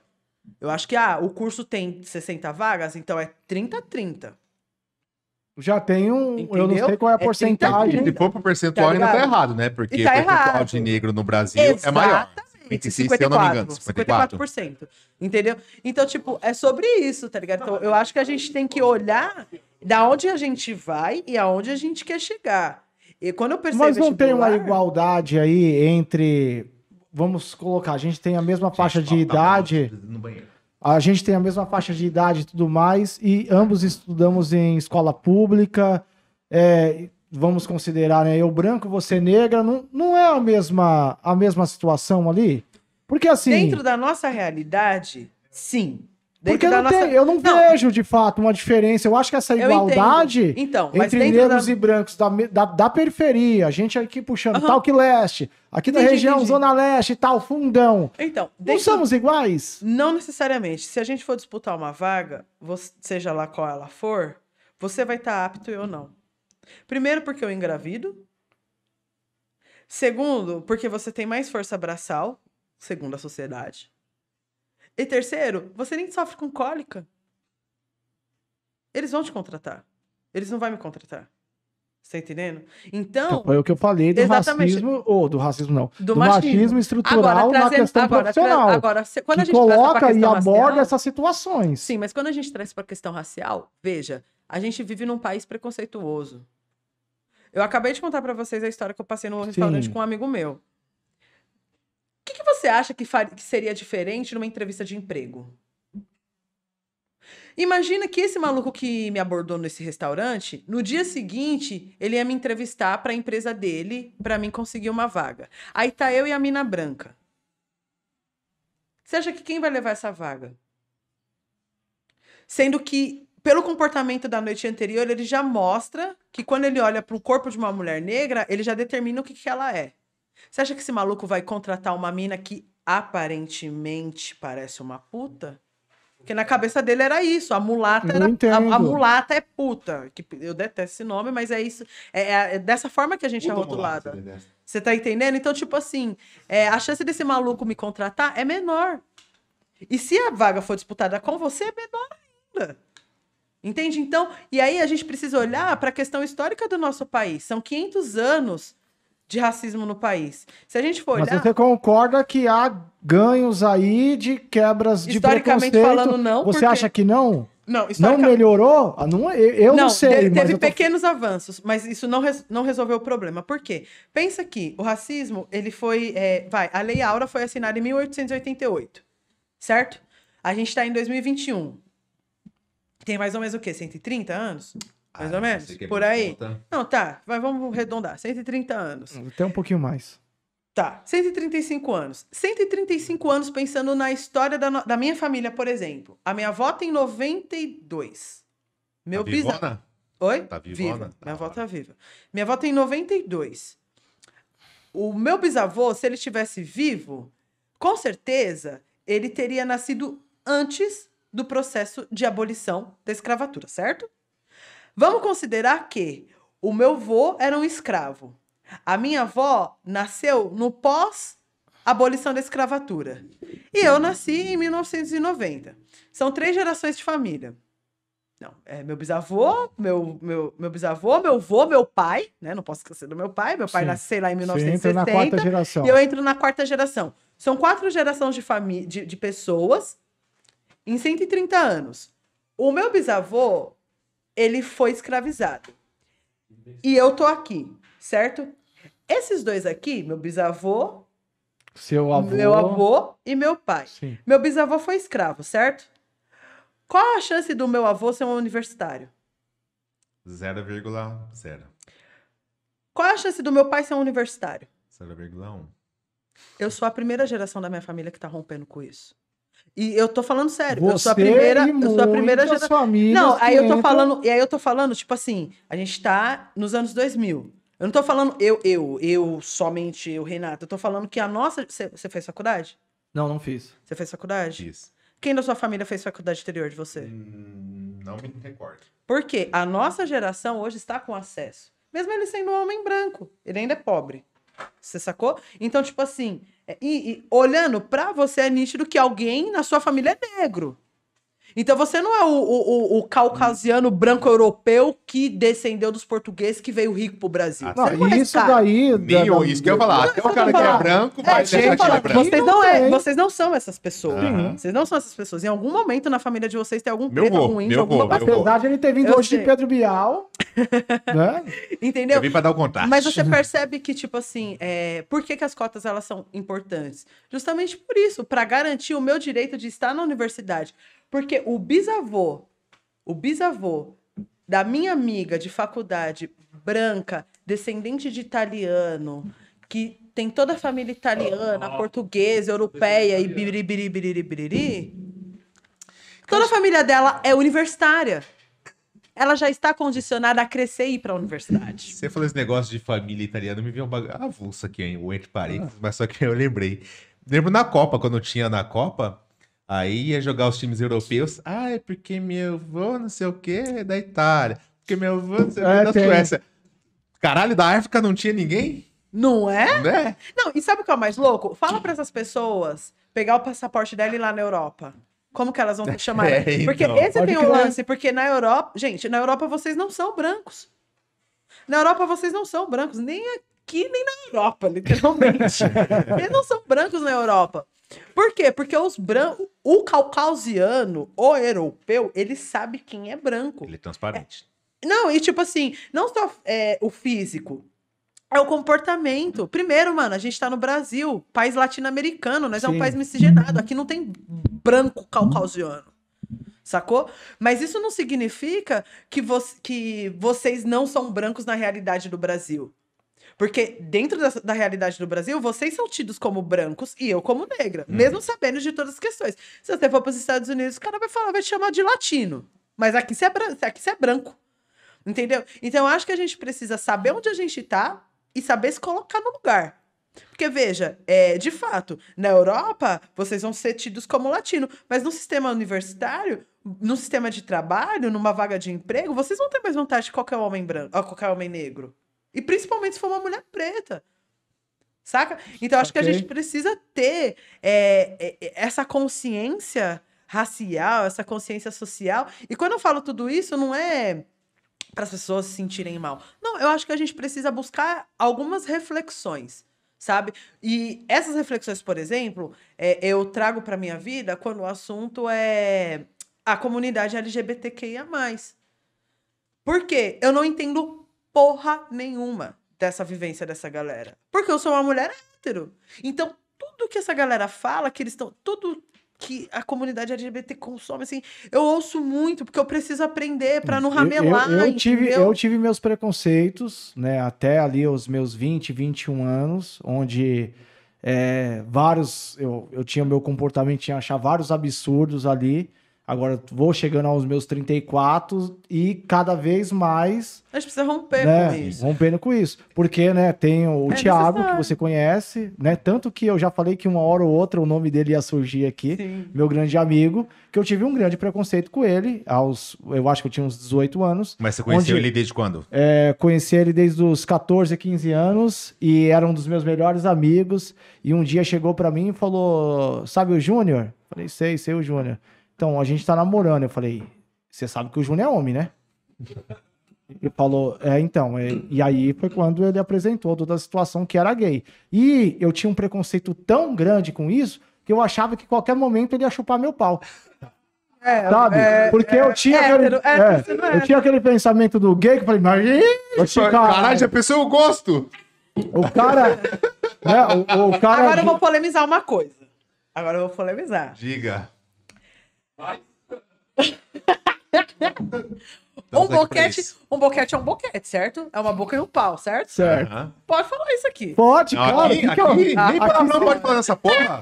Fuder. fique à vontade. Tá. Um boquete é um boquete, certo? É uma boca e um pau, certo? Eu já sei Eu tô com responder. medo do que você vai Você perguntar. fechou o olho, é vamos uma boca. Não. Você fechou o olho, é uma boca. Sim, vai, vai, vamos lá. E se for um cara chupando seu Não pau, não é um pode. problema? O Costela já tomou dedilhada aqui, assim, nas bolas, assim, ó. Tomei uma vez e eu gostei. Igual aí. Foi mesmo. Um ra- Não. eu, eu me senti. Eu me senti violado. Na balada. O cara, o cara pegou e fez. Não, mas aí você tem total direito de você se sentir violado. Me senti, porque- fiquei constrangido. Não, não, mas aí e eu eu acho que- malandro, eu falei, como é que eu vou chegar nos caras? Falei, "Ei, irmão, vamos no debate na caminhada, certo? o cara pegou no, nas minhas bolas aí. eu não mas tinha isso- coragem, não, eu só mas fiquei... isso é assédio, isso é assédio, isso não pode. Não, seja lá quem for, Quem for. você não pode invadir o corpo de outra pessoa. Sim, mas aconteceu, eu me senti violado. mas você tem total direito. Mas ele sabia violado. fazer o. Ele tinha. Ah, ele tinha. gostou, Eu então. gostei, eu gostei. Ele sentiu o proibido gostoso. Não, não é que eu gostei. Pera aí. Você falou. Tá gravado.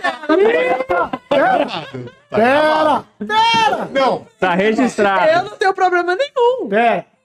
Foi o seguinte. Nada contra, eu tenho até amigos. Eu, eu, eu considero. no- no- na hora eu me senti violado, como eu falei. Eu não gostei, certo? Se fosse de uma mulher, eu tava tranquilo, porque sou hétero. Não, e não seria Mas assim eu tranquilo, falei- ela, ela estaria errada do mesmo Quando eu- jeito, não pode violar o corpo Sim, de ninguém. Quando eu falo eu gostei, é que ele tinha as manhas. Ele fez de um jeito que ele tinha as manhas. Ele, ele tocou de um jeito Pegou um especial. pouco do campinho, né? Pegou? Pegou um pouco. Pegou. As ideias, mano. Mas, então, é, esse gostei não é que assim, uh, gostei, não. Mas depois eu parei pra Foi o gostei pensar contido, né? e eu falei, ele tinha um molejo. Um macete, Ele tinha uma dedilhada que Não, era... agora, falando muito sério, seja Sim. lá quem for, quem for, isso é muito sério. Você não pode invadir o corpo de ninguém. Nem que fosse uma mulher fazendo isso com você.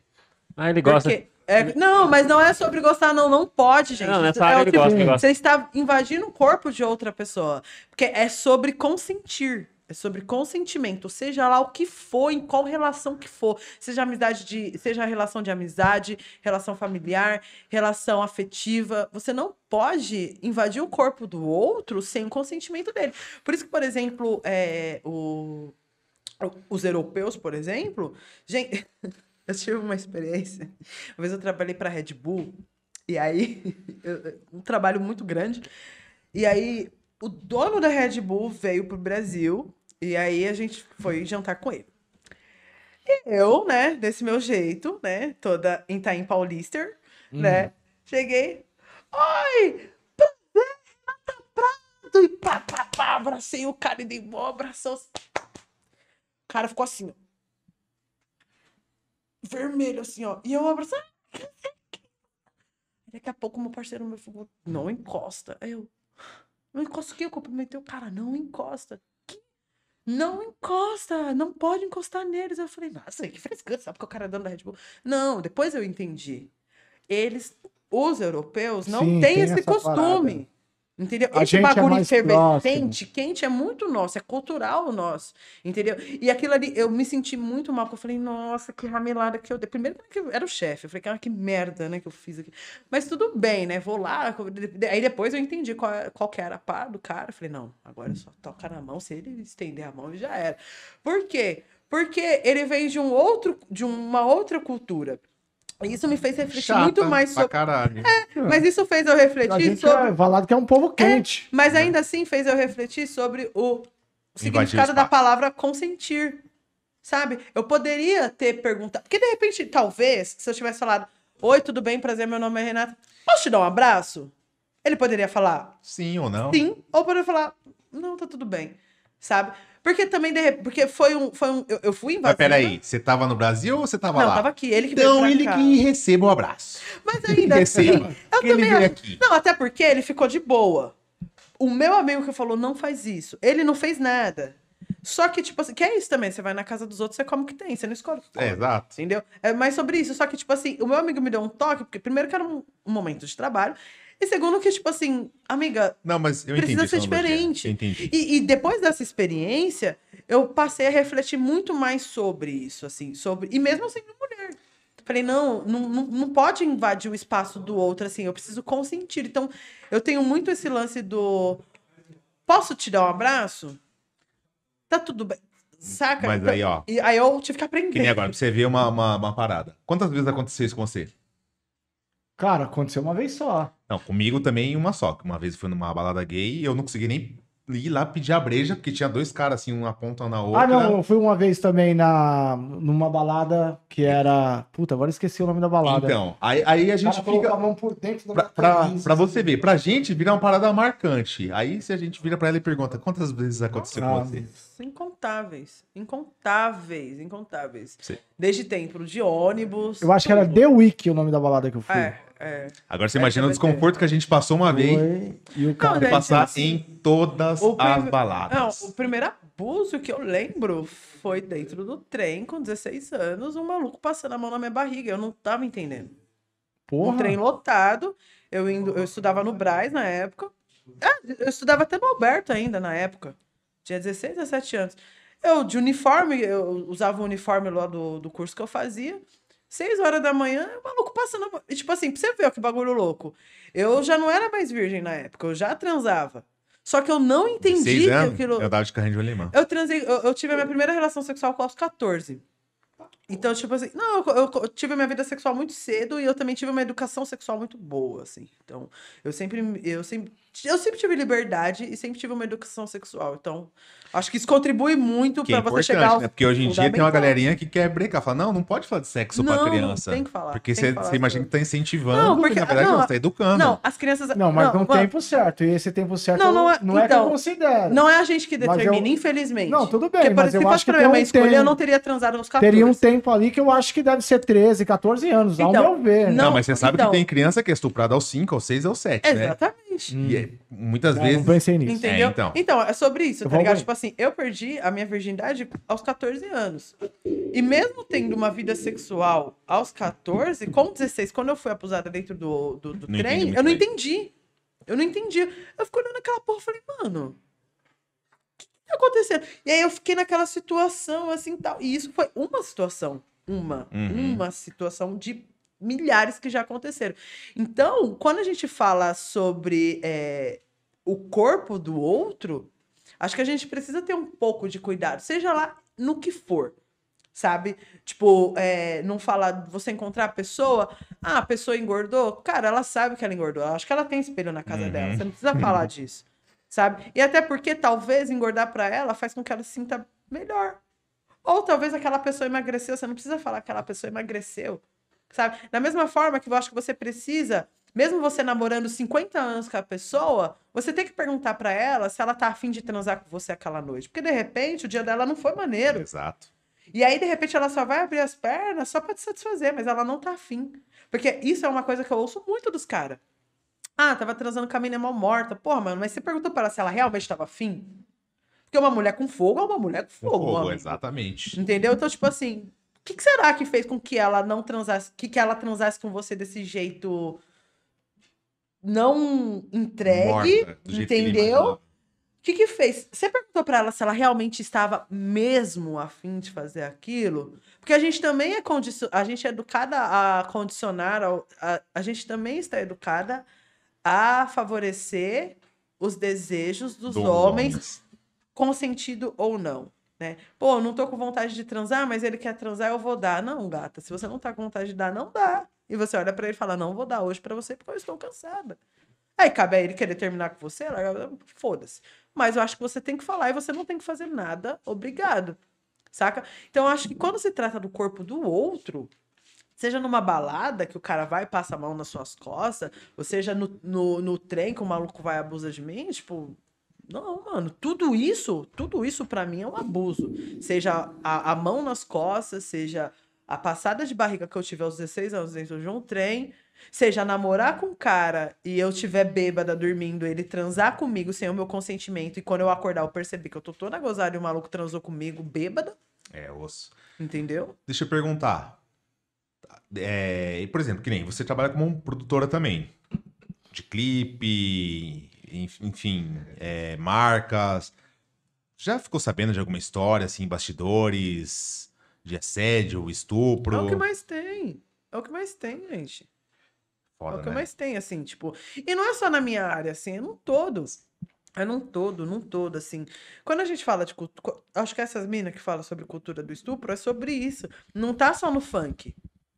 Antes fosse, se o programa eu tivesse nem- só no eu funk, tá ligado? associei que seria só o funk. Só que assim, a gente Não, eu- escuta situações. Ou, ou assim, né? Eu, eu ia entrar num assunto, mas vou voltar um pouquinho na década de 1990, onde a gente tinha programas de TV onde mostrava muito a questão. Mostrava a bunda da mulher, tal, aí. Tinha aquele programa do Gugu, que Deus o tenha, né? Que é Banheira do Gugu. né? Que não, aquele lá, o Gata Molhada. Ah, Porra, o biquinho do peito e tudo mais. Nós novo pinto como? né? Lógico, três horas Tá da tarde, ligado. do lado da avó. Né? Então, tinha, hoje já, já coberta. faz do jeito. 40 graus de coberta. É, só que aí, falando no meio da televisão, a gente escutava que tinha situações do qual, né, é, das malandrinhas, com, com do, do, né, do Sérgio Malandro, eu não quero comprometer o cara não, só que tinha boatos a respeito, Não, né? gente, é em Supostamente. É, os supostamente. Aí tinha a questão das paniquete também e tudo. Aí você associa muito uma mulher que está na TV, certo? Isso aí eu tô falando eu, ne- nesse pensamento, nesse, nesse histórico que vem. Que parece que isso é comum.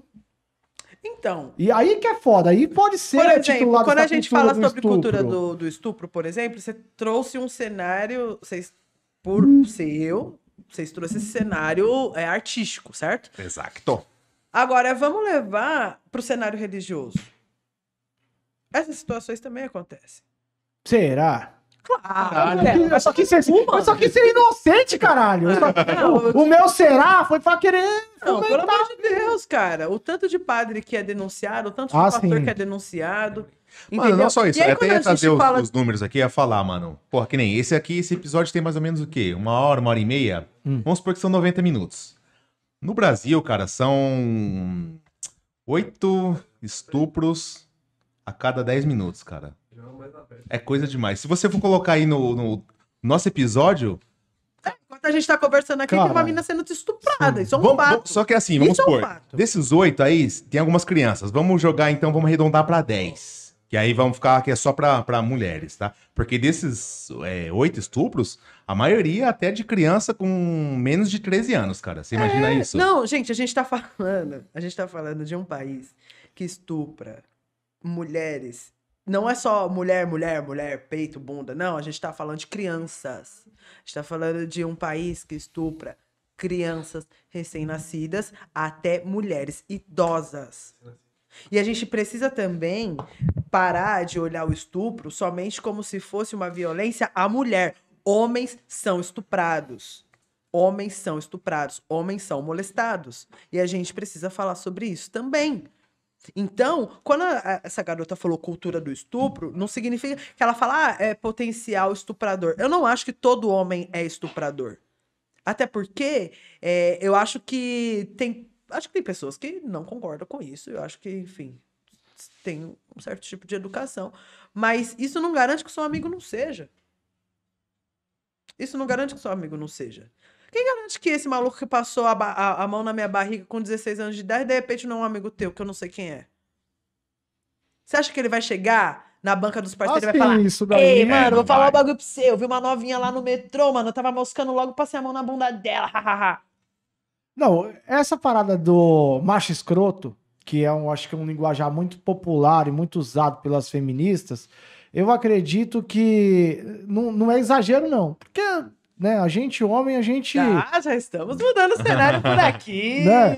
Se fala, né, uma coisa ou outra. Tipo assim, tem situações daquele futebol, aquela cervejada depois.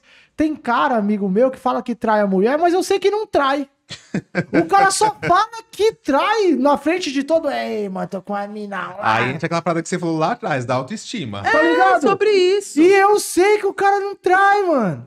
Só que ele, pra falar pra ali, tipo. Sim. Então tem situações desse do porque, macho então, escroto, tem de um cara que que é passa e dá aquela buzinadinha, o cara tá 80 km por hora numa via, ele vê uma mulher a longa distância, quando ele tá chegando perto, ele faz aquele pipi do Ele carro. acha o quê? Que a mina vai parar e vai falar: Oi! Tá? Eu sei que esses são os titulados um macho escroto.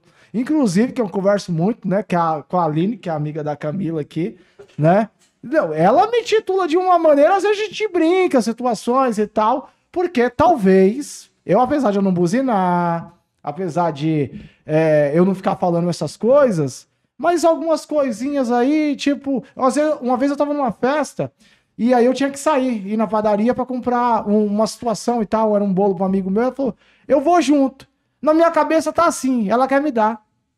Então, tipo assim, tem situações, eu, é, aí vai ter muito macho, vai, não, e aqui, sabe? Não que eu tentei fazer qualquer coisa. Só que lá no íntimo, no subconsciente, a mulher tal, não tinha um porquê, o cara fala assim, hum, tá querendo. Então, e eu acho que é sobre É do isso, macho tá ligado? escroto. Eu acho que a gente precisa trabalhar sobre esses inconscientes, tá ligado? Porque, tipo, assim, é, o verbalizar o preconceito, o machismo, o racismo, seja lá o que for, é algo que já tá na sua cabeça. Você já pensava. É que você esperou um momento, uma situação pra você verbalizar aquilo que você acredita. Então, mas se isso Então- for inconsciente, eu não tô querendo passar pano, Sim, não. eu entendi o que você tá pra- falando. Eu, pra- eu acho que Em quando é casos inconsciente... extremos, né? O do macho escroto, aqui, tá? Meus dados que eu tirei os números do meu cu, tá?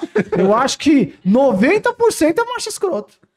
Não, na verdade, eu acho que assim, honestamente, eu acho que todos os homens são machistas, assim como todas as pessoas héteros são homofóbicas. E eu me coloco nesse lugar.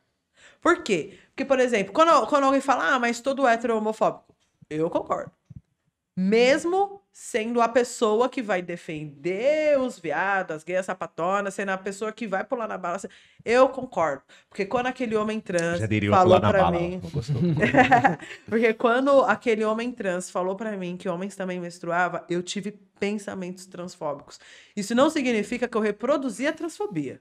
Veja então, bem. tudo Eu bem. não reproduzi. Mas, Mas, você o fato de inconsci- inconscientemente, Inconscientemente você eu pensou. pensei e inconscientemente eu refleti e eu revi a minha postura. E foi por isso que eu fiquei três dias me questionando sozinha.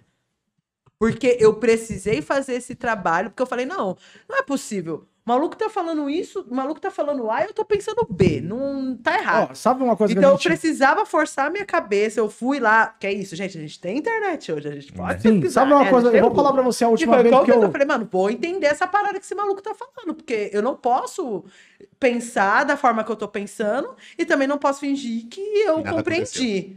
Você tá entendendo? Eu preciso chegar num denominador comum da minha ideia desse cara pra me entender que o que ele falou faz sentido. E eu fiquei três dias pensando pra entender. A última isso. vez que eu refleti a respeito de situações assim foi quando teve o Big Brother com o Rodolfo e o João, que foi a questão lá do cabelo.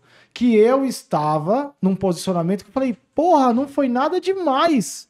Eu tava. Tomaram né, todas? E ainda talvez. Não, Beberam tudo? já tá tudo aqui. Eu nem vou olhar aqui embaixo, mas tudo bem. Beberam tudo, eles beberam.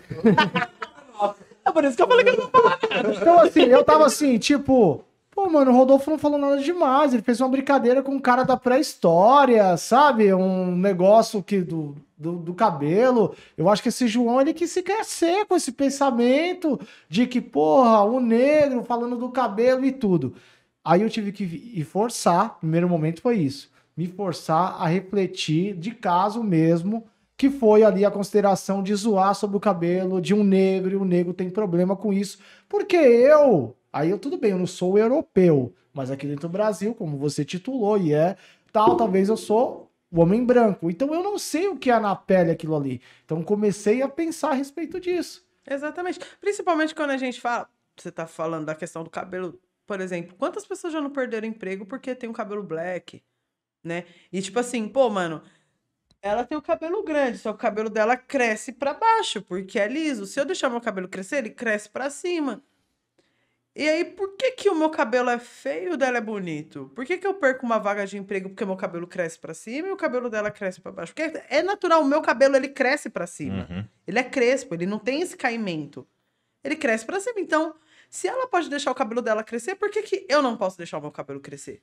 Porque quando eu deixo o meu cabelo crescer, vira um problema na sociedade. Por quê? Por que, que vira um problema? Ela deixa o cabelo dela crescer e não dá nada. Por que, que eu deixo meu cabelo crescer e dá alguma coisa? Peraí. Então, é, esse, é, esse episódio do BBB foi ótimo para as pessoas entenderem isso, assim. Tudo bem que foi uma situação extremamente triste, que eu não gostaria de, de ver, né? Porque, infelizmente, eu sei o que é a dor que o João sentiu ali naquele momento. Mas Ele estava num programa, ele estava sujeito a estar nesse programa. Inclusive, gente, vou contar uma coisa pra vocês. Já fui chamada pro BBB. E eu recusei. Sério? Ah, mentira. Eu fui chamada pro BBB Não 2017. acredito. E eu recusei justamente por situações como essas.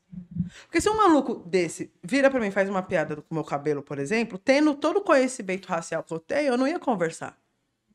Então, Entendeu? mas ali o Então, do tipo, João é que entra um pouco de jogo nisso daí, que na hora percebe-se que ele não gostou. Ok. Sim, só que cada um tem uma reação. Eu ia Isso. ser, eu sou a pessoa que Mas na hora bate. talvez seja outra coisa, Não, Renata. amigo, eu ia chegar na voadora mesmo, me conhecendo. Foi por isso que eu neguei o convite. Porque o BBB é isso, tá você ligado? se Eles falam, isso. não, eu ia me fuder, porque eu não pode, você assina um contrato, você não pode bater nas pessoas. Seria ser que nem a Carol Ah, com mas- Ah, não, mas. Quê? A Globo ia Não adorar. pode bater. Não, mas Ah, Não, mas eu ia você falou, ah, de agressão, É, entendi. tô falando, não, mano, desculpa se eu sofrer racismo, seja lá onde for, eu vou dar um soco na cara de quem for que me ofender. A? Globo- A Globo ia adorar e você sair Eu como herói vou- nacional. hein? Exatamente, eu não vou. Então, eu neguei o convite de participar do BBB porque eu não queria me expor a essa situação, porque eu sei que ela ia acontecer. Curiosamente, foi a edição, eu fui convidada para edição que a acho que é Ana ah, não vou lembrar o nome, também nem vale a pena falar. Mas foi uma racista lá que ganhou, uma branca racista lá que ganhou. Que- E que ela se mostrava racista o programa inteiro. E ela ganhou esse programa e eu fui chamada para estar no mesmo. Se eu tivesse ido, eu ia pro mesmo programa que ela. Sim. Entendeu? E aí é onde é as pegadinhas que a gente não pode cair, tá ligado? Porque o BBB, por exemplo, é um programa totalmente pensado.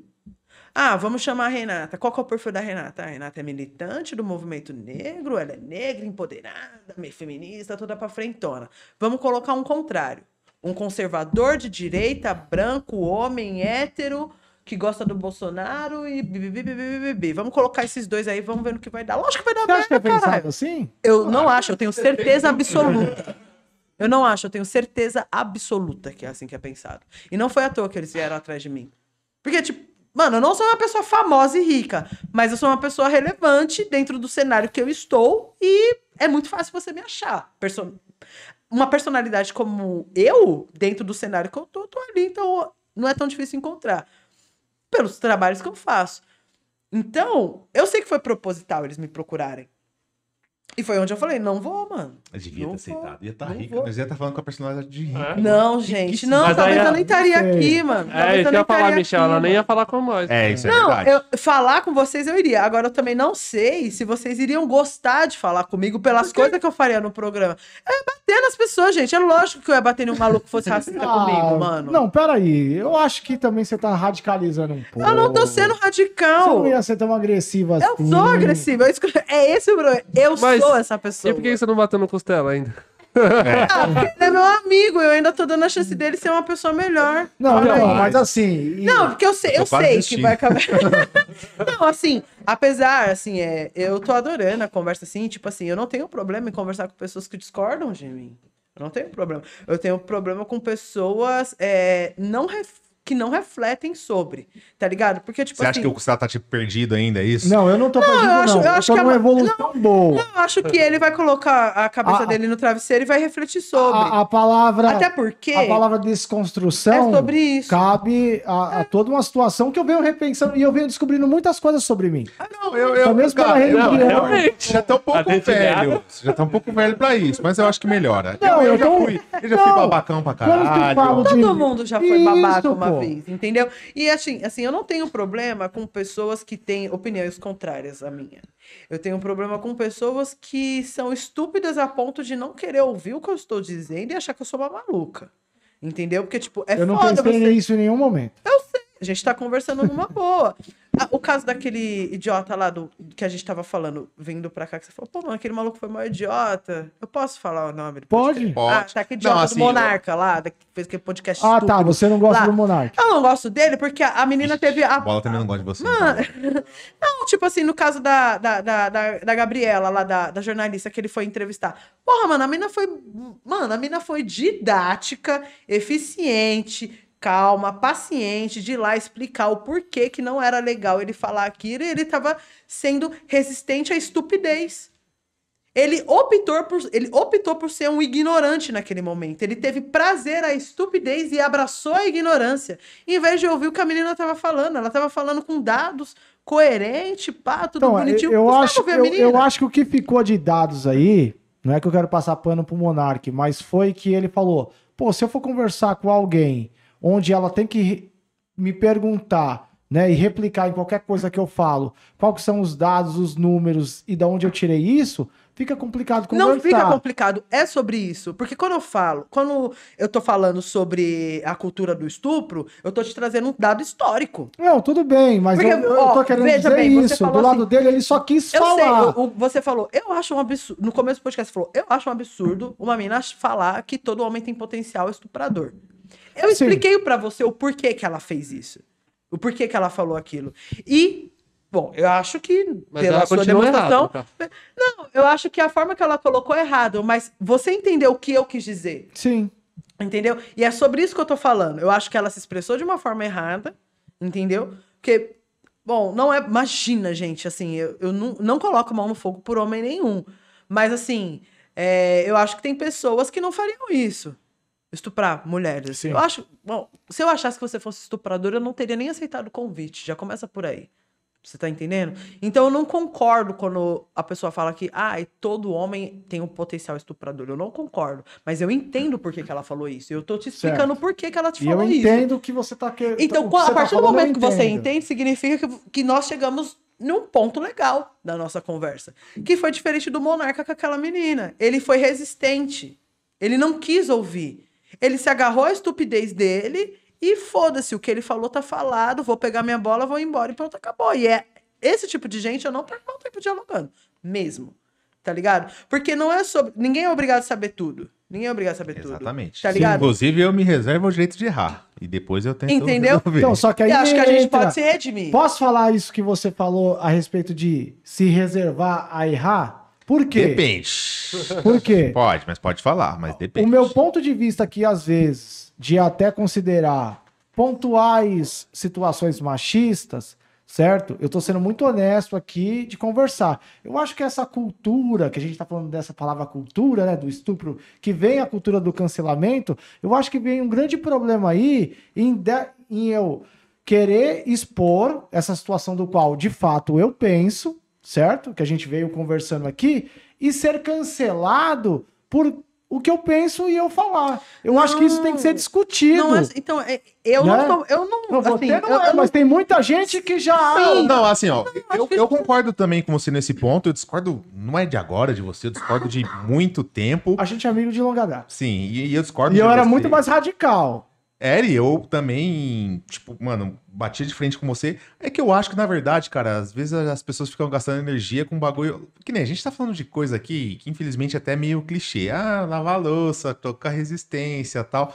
Sendo que o problema, mano, é, é outro. Sim. É, tipo, que nem uns tempos atrás a gente tava falando da, do, do Neymar com aquela mina lá.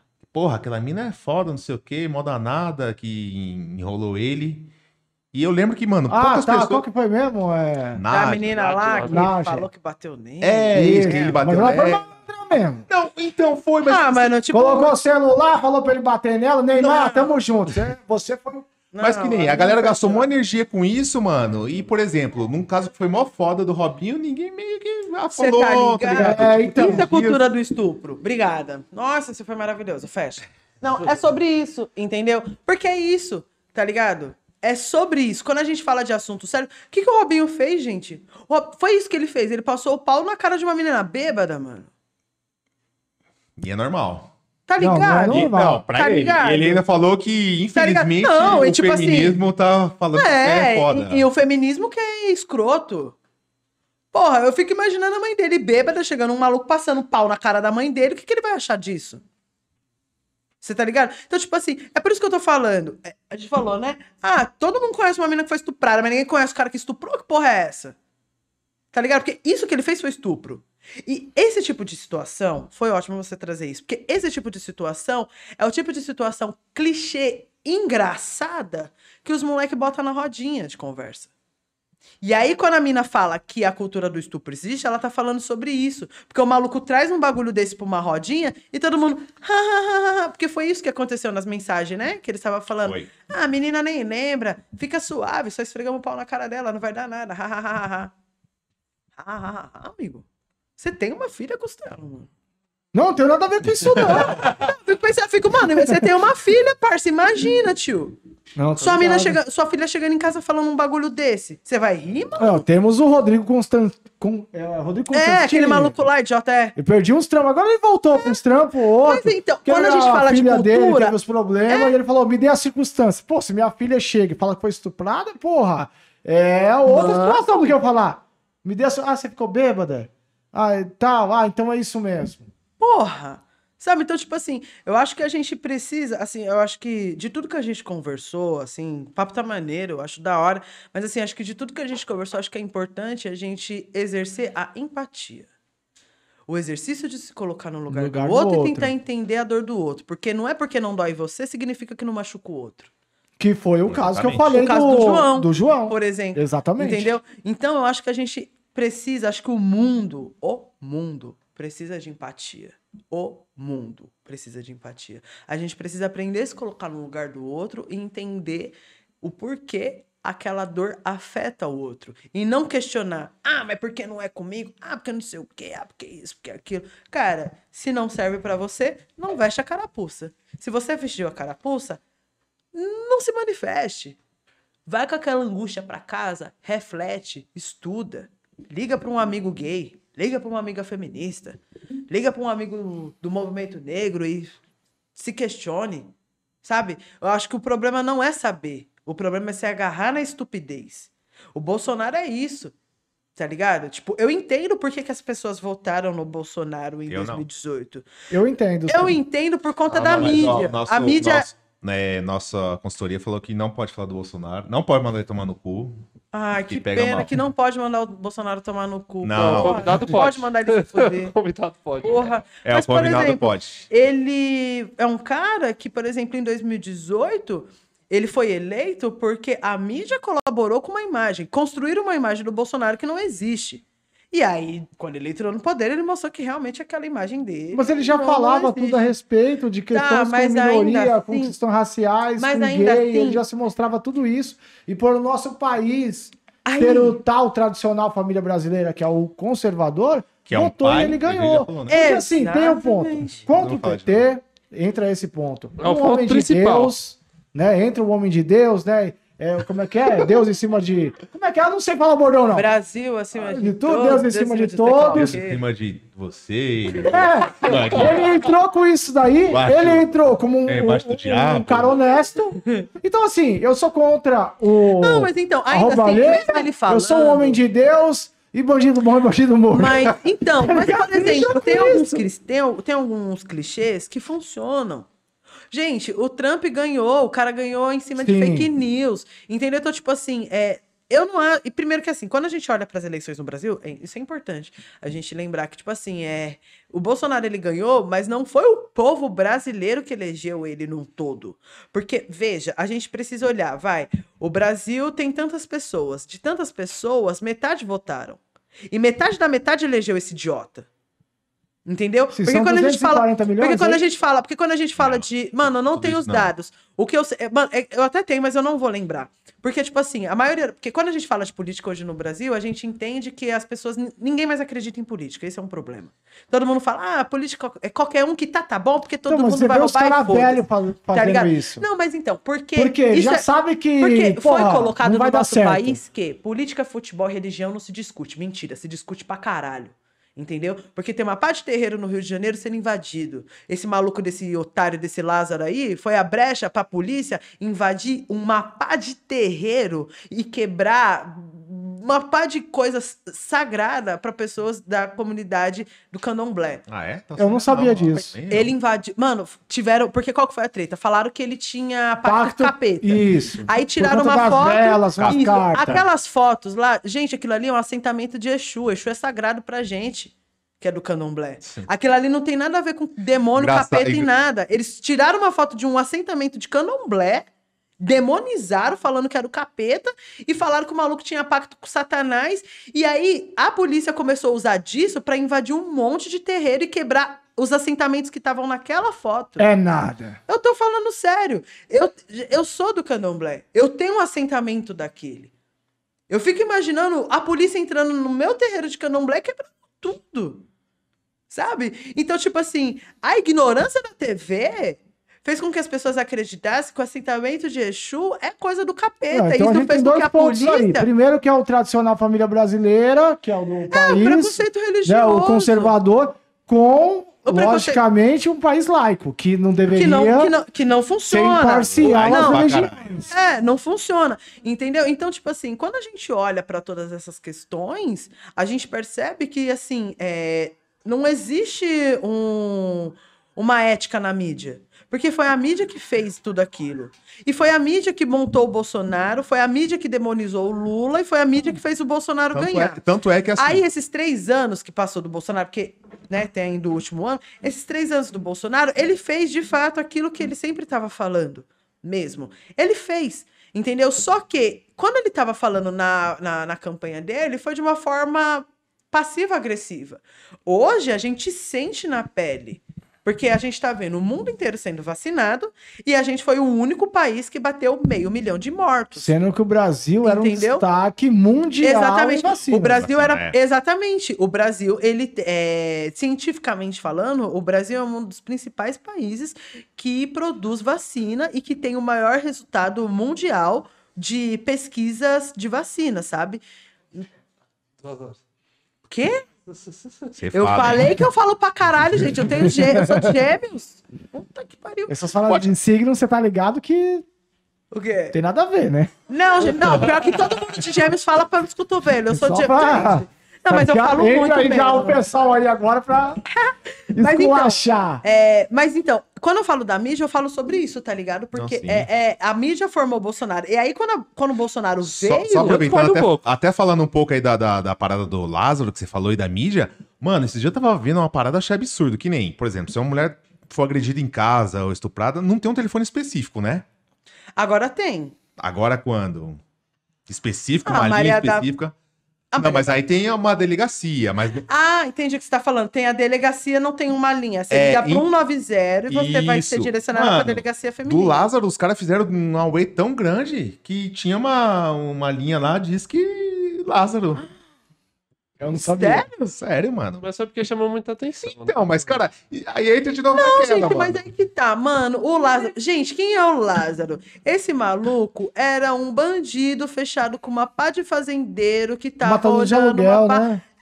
Não, Esse maluco é um pilantra, que é os fazendeiros ricos, porque, gente, vamos. Todo mundo sabe que quem, quem manda no Brasil é quem tem dinheiro. Claro. E a gente sabe que quem tem dinheiro é fazendeiro. E, mano, curiosamente, o maluco tava escondido numa fazenda do mano que queria pegar o terreno do outro. É, várias fitas. Você tá ligado? Só que assim, vocês acham? Tô colocando uma suposição também. Que ele era estuprador, mano? Eu O acho que Lázaro? colocaram esses bagulho nas costas dele pra Não, eu população acho, não gostar então, dele. eu acho que colocaram. Pode ser que seja, Não, mas eu assim, acho que demoniz- demonizaram a figura do Lázaro, porque certamente ele deve ser fechado com um crime organizado dos fazendeiros e esse maluco deve ter rabo preso. Sabe o famoso queima de arquivos? É o Lázaro. A famosa queima de arquivos é o Lázaro. Total, lógico. Entendeu? Mais fácil dar 38 Porque, tiros nele porque não primeiro, tá primeiro, resolvido. o papel da polícia não é matar, é prender. Já começa por aí. A polícia não pode matar. Ah, mas tem outras coisas também, né, Renato? Não, O cara atirou na polícia, ao meu ver. tá? mano, o maluco. O cara atirou na polícia. Você Quando encontrar maluco, ele no segundo encontro, bala.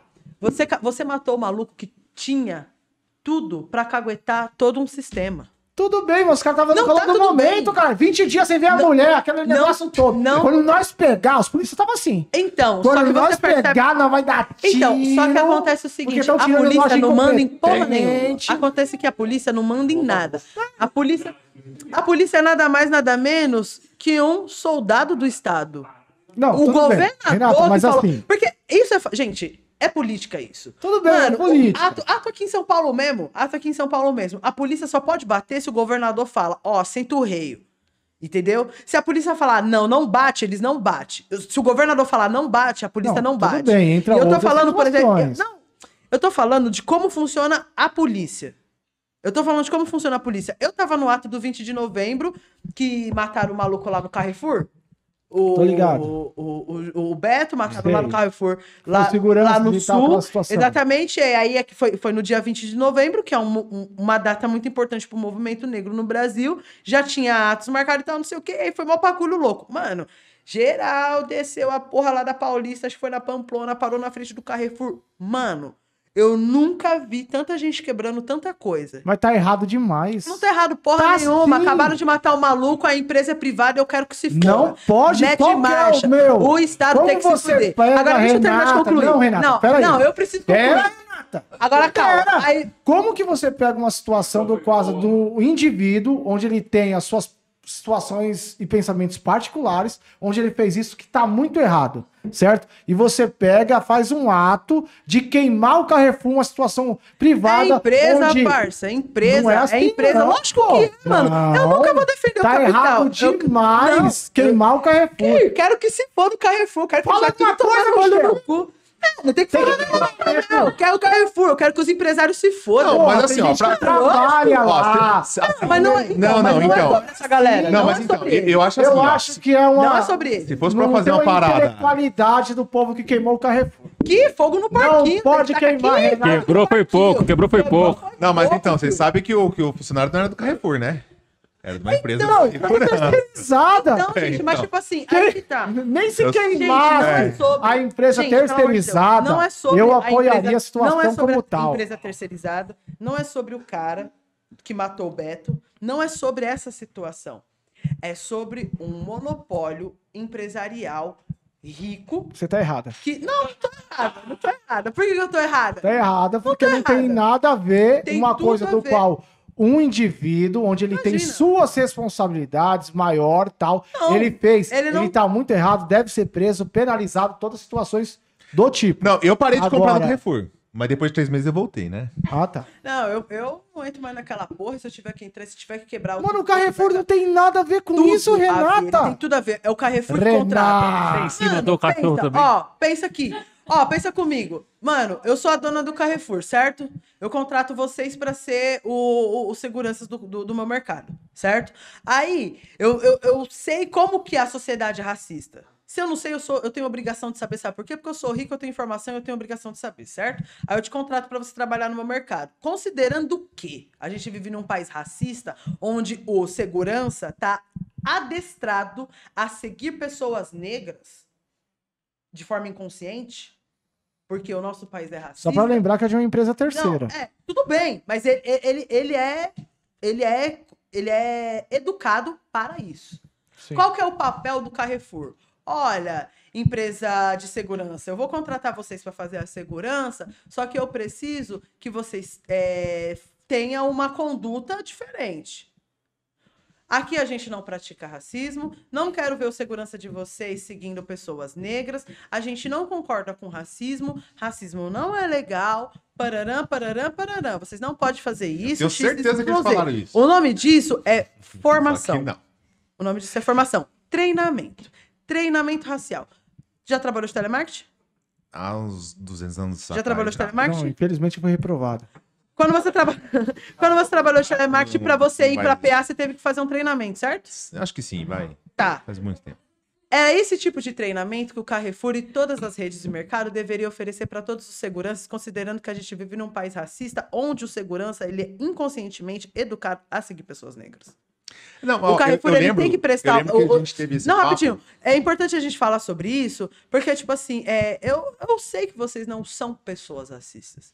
Mas eu acho que a gente. Acho que ba- bastante Eu ia falar um negócio isso. clichê que quebra Eu acho- tudo. Que não. é assim, o meu melhor, um dos meus melhores amigos Não, é negro. Não, não é sobre isso. Eu acho que várias pessoas assistem esse, esse podcast e eu acho que as pessoas precisam entender algumas situações. É, por que, que é responsabilidade do Carrefour? Porque se o Carrefour contratou aquela empresa, o Carrefour ele tem que passar para aquela empresa os valores daquele, da- do Carrefour para aquela empresa. Concordo. Entendeu? Porque, tipo assim, eu, por exemplo, eu era produtora de festa. E eu tinha que contratar empresa de seguranças. E eu fazia isso. Só que eu produzia uma festa LGBT.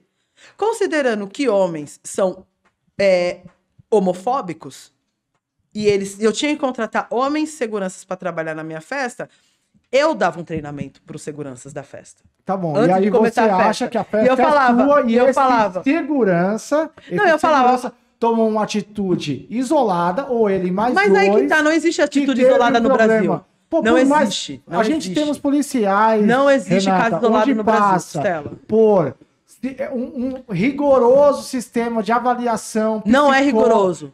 Não é rigoroso. Caralho. A prova da USP é muito mais faz. difícil que a prova da polícia. Tá bom, você é produtora, você fez a festa. Um vigilante, ou um segurança, tomou um ato desse. É responsabilidade minha. E aí a sua empresa tem que ser queimada? Sim, Que isso? É responsabilidade minha, foi eu que contratei o maluco. Não. Não, assim, ó, isso- essa conversa a gente teve no nosso primeiro episódio, que foi o episódio piloto, tava tudo meio que de qualquer jeito aqui. Eu lembro que foi com o Renan. Porra, eu lembro que ele falou uma parada que me fez pensar bem. Ele falou, cara, infelizmente, querendo ou não, o segurança ele não vai pensar dessa forma que você tá pensando. Porque ele não teve formação. Então, exatamente, porque ele não teve formação. polícia tem. Pera, É isso que a polícia precisa, Aí- formação. Aí ele catou, ele falou, eu lembro que ele falou assim, ele falou, cara, é, querendo ou não, que nem, você quer ser produtora, a pessoa de repente imagina, falou, pô, eu, eu quero ser dançarina, eu quero ser um apresentador, eu quero ser um cineasta. Agora, é muito difícil um moleque novo lá e falar assim, porra, eu nasci, eu quero ser um, um segurança. Ou seja, ele tá ali pra, pra trampar, mano. Muitas vezes ele nem tá contente com o trampo, Sim. e aí vai lá, o Carrefour, ele tem uma certa parcela de culpa sim, porque vai lá, é uma mão de obra barato. Sim. Parcela de culpa é dele. Dele quem? Não, mas Segurança. alguém contratou ele. Pensa que, tipo assim, por exemplo, mano, eu tenho uma filha, certo? E eu contrato uma babá pra cuidar da minha filha. Se a babá deixa a menina se afogar, a culpa é de quem? Cara, aí Se eu contratei a porra da conse- babá. Você tá colocando em consequência que aí entra o ato de qualquer mano. situação, porque é você que contratou. Eu não sou responsável, porque, mano, se eu for contratar uma pessoa pra cuidar da minha filha, primeira coisa, você já cuidou de, de criança? Eu não. É a primeira coisa que eu vou perguntar pra babá. Você já cuidou de criança? Qual que é a sua Tudo experiência bem com que ela criança? tenha cuidado. Ah, ótimo. Você já cuidou de criança? Então, beleza, não vou te dar formação porque eu acho que você precisa disso. Agora, sei lá, de repente eu chamo minha prima pra olhar uma filha. Eu não tenho filho, mas digamos que eu tenho. Eu vou chamar minha filha, minha, uma prima minha que eu sei que nunca cuidou de criança. E por a mão de obra dela ser mais barata, eu vou contratar ela pra cuidar da minha filha. E vou falar, ó, prima, o bagulho é o seguinte, você vai ficar com a minha filha, sabe trocar fralda? Então chega aqui, vou te dar um treinamento de como se troca uma fralda. Prima, chega aqui, ó, vou ensinar isso daqui, isso daqui. É assim que se cuida de uma criança. Agora, se eu ensinei pra ela colocar a falda assim, ela colocar do avesso, eu tenho o direito de falar, porra, prima, caralho, mano. Então, mas aí você entra no mesmo papel do Carrefour. Vamos supor, aí ela foi lá e matou a sua filha. Você vai presa? A responsabilidade é minha, foi Então, eu que mas- contratei. Mas aí você vai presa. Não, Não, é que é. não nesse caso, porque aí a gente não tá. Bom, a gente tá falando de, tipo, porra, é uma mãe contratando um serviço que, tipo, que é diferente. Que é diferente de uma empresa. Seja ela pequena ou grande. Porque quando a gente se trata de. Porque isso que eu tô falando da babá é um serviço individual, meu. Tipo, é uma manicure que vai prestar um serviço pra mim. Outra coisa é quando você vai falar de uma empresa gigante. Tá ligado? Você tem que ter um treinamento. Porque é sobre isso, tá ligado? Qual que é o papel da empresa? Não é servir o cliente bem? Sim. Você tem que olhar quem são os seus clientes. Se você entende que a gente mora num país racista e a maioria dos seus, do- do- dos seus clientes são negros, como que você vai colocar uma equipe de segurança que não está preparada para trabalhar com pessoas negras dentro daquele recinto? Você tem que dar uma formação para aquelas pessoas. Olha, eu entendo que segura... vocês, seguranças, ex-policial, né? Que tem... Porque a polícia, principalmente a polícia, ela já tem uma característica de quem ela tem que enquadrar. Então, geral... e aí a gente vamos, vamos puxar. Eh, Geralmente, quem são os seguranças são os policiais exonerados, ex-policiais, ou policial que faz dobradinha, ou que não ou passou. Ou que tem foi, o ou que não sonho de ser passou, ou que tem ser- e que já tem um pensamento muito semelhante a desses policiais. E aí, quando ele for chegar no mercado, ele vai reproduzir aquilo que a polícia reproduz na rua. Que foi o que aconteceu com o Beto. Entendeu? E aí, então, qual que é a responsabilidade no Carrefour disso? De não dar formação para aquele sujeito. Você tá entendendo? Porque assim, talvez. Eu não sei quem é esse maluco, esse assassino. Eu não sei quem é esse assassino, mas talvez na cabeça dele ele falou: vou dar um mata-leão só pro maluco ficar desmaiado. Mas ele matou uma pessoa. Foda. Entendeu? E isso é responsabilidade do Carrefour. Porque, primeiro, o Carrefour não podia permitir com que os seguranças deles sentissem na liberdade de achar que pode dar um mata-leão numa pessoa. Já começa por aí. Então, é necessário sim a gente dar formação para os seguranças para que coisas como essas não aconteçam. Que, inclusive, agora, depois do caso do Carrefour, algumas empresas estão começando a fazer. Então, sim, Costela, é de responsabilidade do Carrefour a morte do Beto, porque o Carrefour foi negligente Uma coisa a é ter ponto a responsabilidade, de não... outra coisa é uma culpa tamanha a pessoas Você falou uma coisa fogo. ótima, você falou uma, você falou uma coisa ótima. A responsabilidade da morte é do Carrefour. A culpa é do cara. O cara matou. A culpa é dele. Sim. Mas a responsabilidade é do Carrefour. Por quê? Porque estava no ambiente dele. Você tá entendendo? É a mesma coisa. Se, mano, a gente tá aqui, de repente, pô, mano, todo mundo resolveu ir embora, só ele tá aqui. Gente, é só uma situação, pelo amor de Deus. Você não deixa eu sair e resolve me estuprar no banheiro. Ele não tá aqui, caralho. Ele não tá ouvindo eu gritando? Desculpa, ele tá sendo conivente. O Carrefour foi conivente com a morte do Beto. E é sobre isso que eu tô falando. É sobre ser conivente, é sobre não oferecer formação e é sobre não colocar os seus valores dentro da, da empresa que você constrói. Porque o problema do Carrefour foi justo ele. Porque agora o Carrefour tá falando que é antirracista. Porra, vai tomar no cu. Se você era antirracista, então por que você não deu uma formação pro seu segurança então, caralho, pra não fazer isso com Mas, as pessoas? Renata, independente de tamanha é, é, informação e conduta às pessoas, a gente vê isso Não, a gente, na ó, vamos lá. A gente vários já, outros É, a setores. Não, gente não ok, pode ó, naturalizar. a gente bateu várias vezes na mesma tecla, já deu a opinião dela, você falou da sua. A gente tá caminhando aqui pro final. Vamos amenizar um pouquinho. Você vai deixar as suas redes sociais. Vamos, você vai vamos falar assim. de projetos aí que você faz parte, que acha legal, de repente, o pessoal conhecer, É, a gente tinha de? ONG pra falar e tal, É. que vai dar. Nossa, a gente rendeu pra caramba, né? É, vai voltar numa outra oportunidade, a gente vai falar aí da Gente, pode me convidar também pra gente voltar e a gente tem mais duas horas pra falar sobre as fotos que a gente não falou. É, porque tinha bastante coisa, tá, gente? A Mas- gente foi um de uma exclusiva de uma pauta, teriam outros, É e mesmo, né? mas Não, mas assim, é, eu, eu acho legal, porque eu acho que é importante. Eu, eu acho que. É importante a gente falar sobre isso, tá ligado? Por mais que a gente ficou duas horas falando de coisas que parece que a gente. não são Pelo amor de. Deus, não São foi, não rolou a fronte nem. Não, eu não vou cancelar ninguém. Eu não vou cancelar ninguém. Eu gosto Nem eu. muito de vocês. Eu amo vocês. Eu vou Não, não, não, não me de inclua no pera. Michel, ele pensa tudo que eu penso. Não fala vocês, não fala vocês. Não, gente, porque eu acho que assim, eu acho que esses debates, porque eu considero essa conversa que a gente teve aqui hoje muito provocativa. Eu acho esses debates provocativos muito saudáveis, porque eu acho que tem pessoas que não é, têm o exercício de fazer esse tipo de reflexão que a gente fez. E não porque elas não são capazes, mas porque elas não tiveram oportunidades, de repente, de refletir Certo. sobre essas questões que a gente está colocando. Então, eu gosto de ser provocada. Tipo, mano, se eu tivesse me sentido desrespeitada, não tenha dúvida que eu tinha levantado daqui e tinha ido embora, porque eu sou louca. Entendeu? eu sou essa pessoa, eu não teria problema nenhum de fazer isso, tá ligado? E, tipo assim, eu não me senti desrespeitada em nenhum momento, mesmo a gente tendo opiniões contrárias, justamente porque eu acho que a gente tá aqui justamente pra isso, pra gente. é, Fazer uma reflexão sobre pontos de vista diferentes. Eu acho que é esse que é o suprassumo de um podcast. A gente mostrar aquilo que a gente. é, Porque eu acho que deve ser muito chato você convidar uma pessoa pra conversar que só concorda com você, sabe? A gente É, tem até sim. um pouco disso no, no Entendeu? início, Eu não, eu onde gente Não, eu não gosto de pessoas que só total concordam conivente comigo. com o convidado. Hoje a gente tem os contrapontos. Oi? Claro. Hoje eu concordei mais, hoje foi É. a pessoa que eu mais concordei. Hoje eu- o, o nosso posicionamento não foi tão radical assim, ou totalmente extremos, certo? Mas é isso aí, estamos chegando ao final, né? A gente reforça aí para você deixar Deixa o seu redes. positivo, né? Se você quiser me seguir nas redes sociais, eu sou o Costela, tá? É Costela Underline Costela, O underline Michel Costa. certo? E o seu? arroba Renata Prado, E Renata óbvio- com dois T Prado. Opa, desculpa, fala de novo que eu cortei você. Renata com dois T Prado, tudo junto. Certo. E o importante, né, que é o Talk Last aqui para você seguir também lá no Instagram. É isso aí. Valeu? Então a gente tem mais um episódio. Muito obrigado. Eu que agradeço, obrigado. gente. Prazer receber Papo lá. bom, Eu que né? agradeço. Mas é isso aí. Temos mais um EP aí. Muito obrigado e Tchau. Até a próxima. Valeu. Balota. Bom, muito bom. Não cortou é... ainda, né? Não lembra como é que corta aí? Ele não cortou ainda. Agora eu preciso ir no banheiro, meu Deus.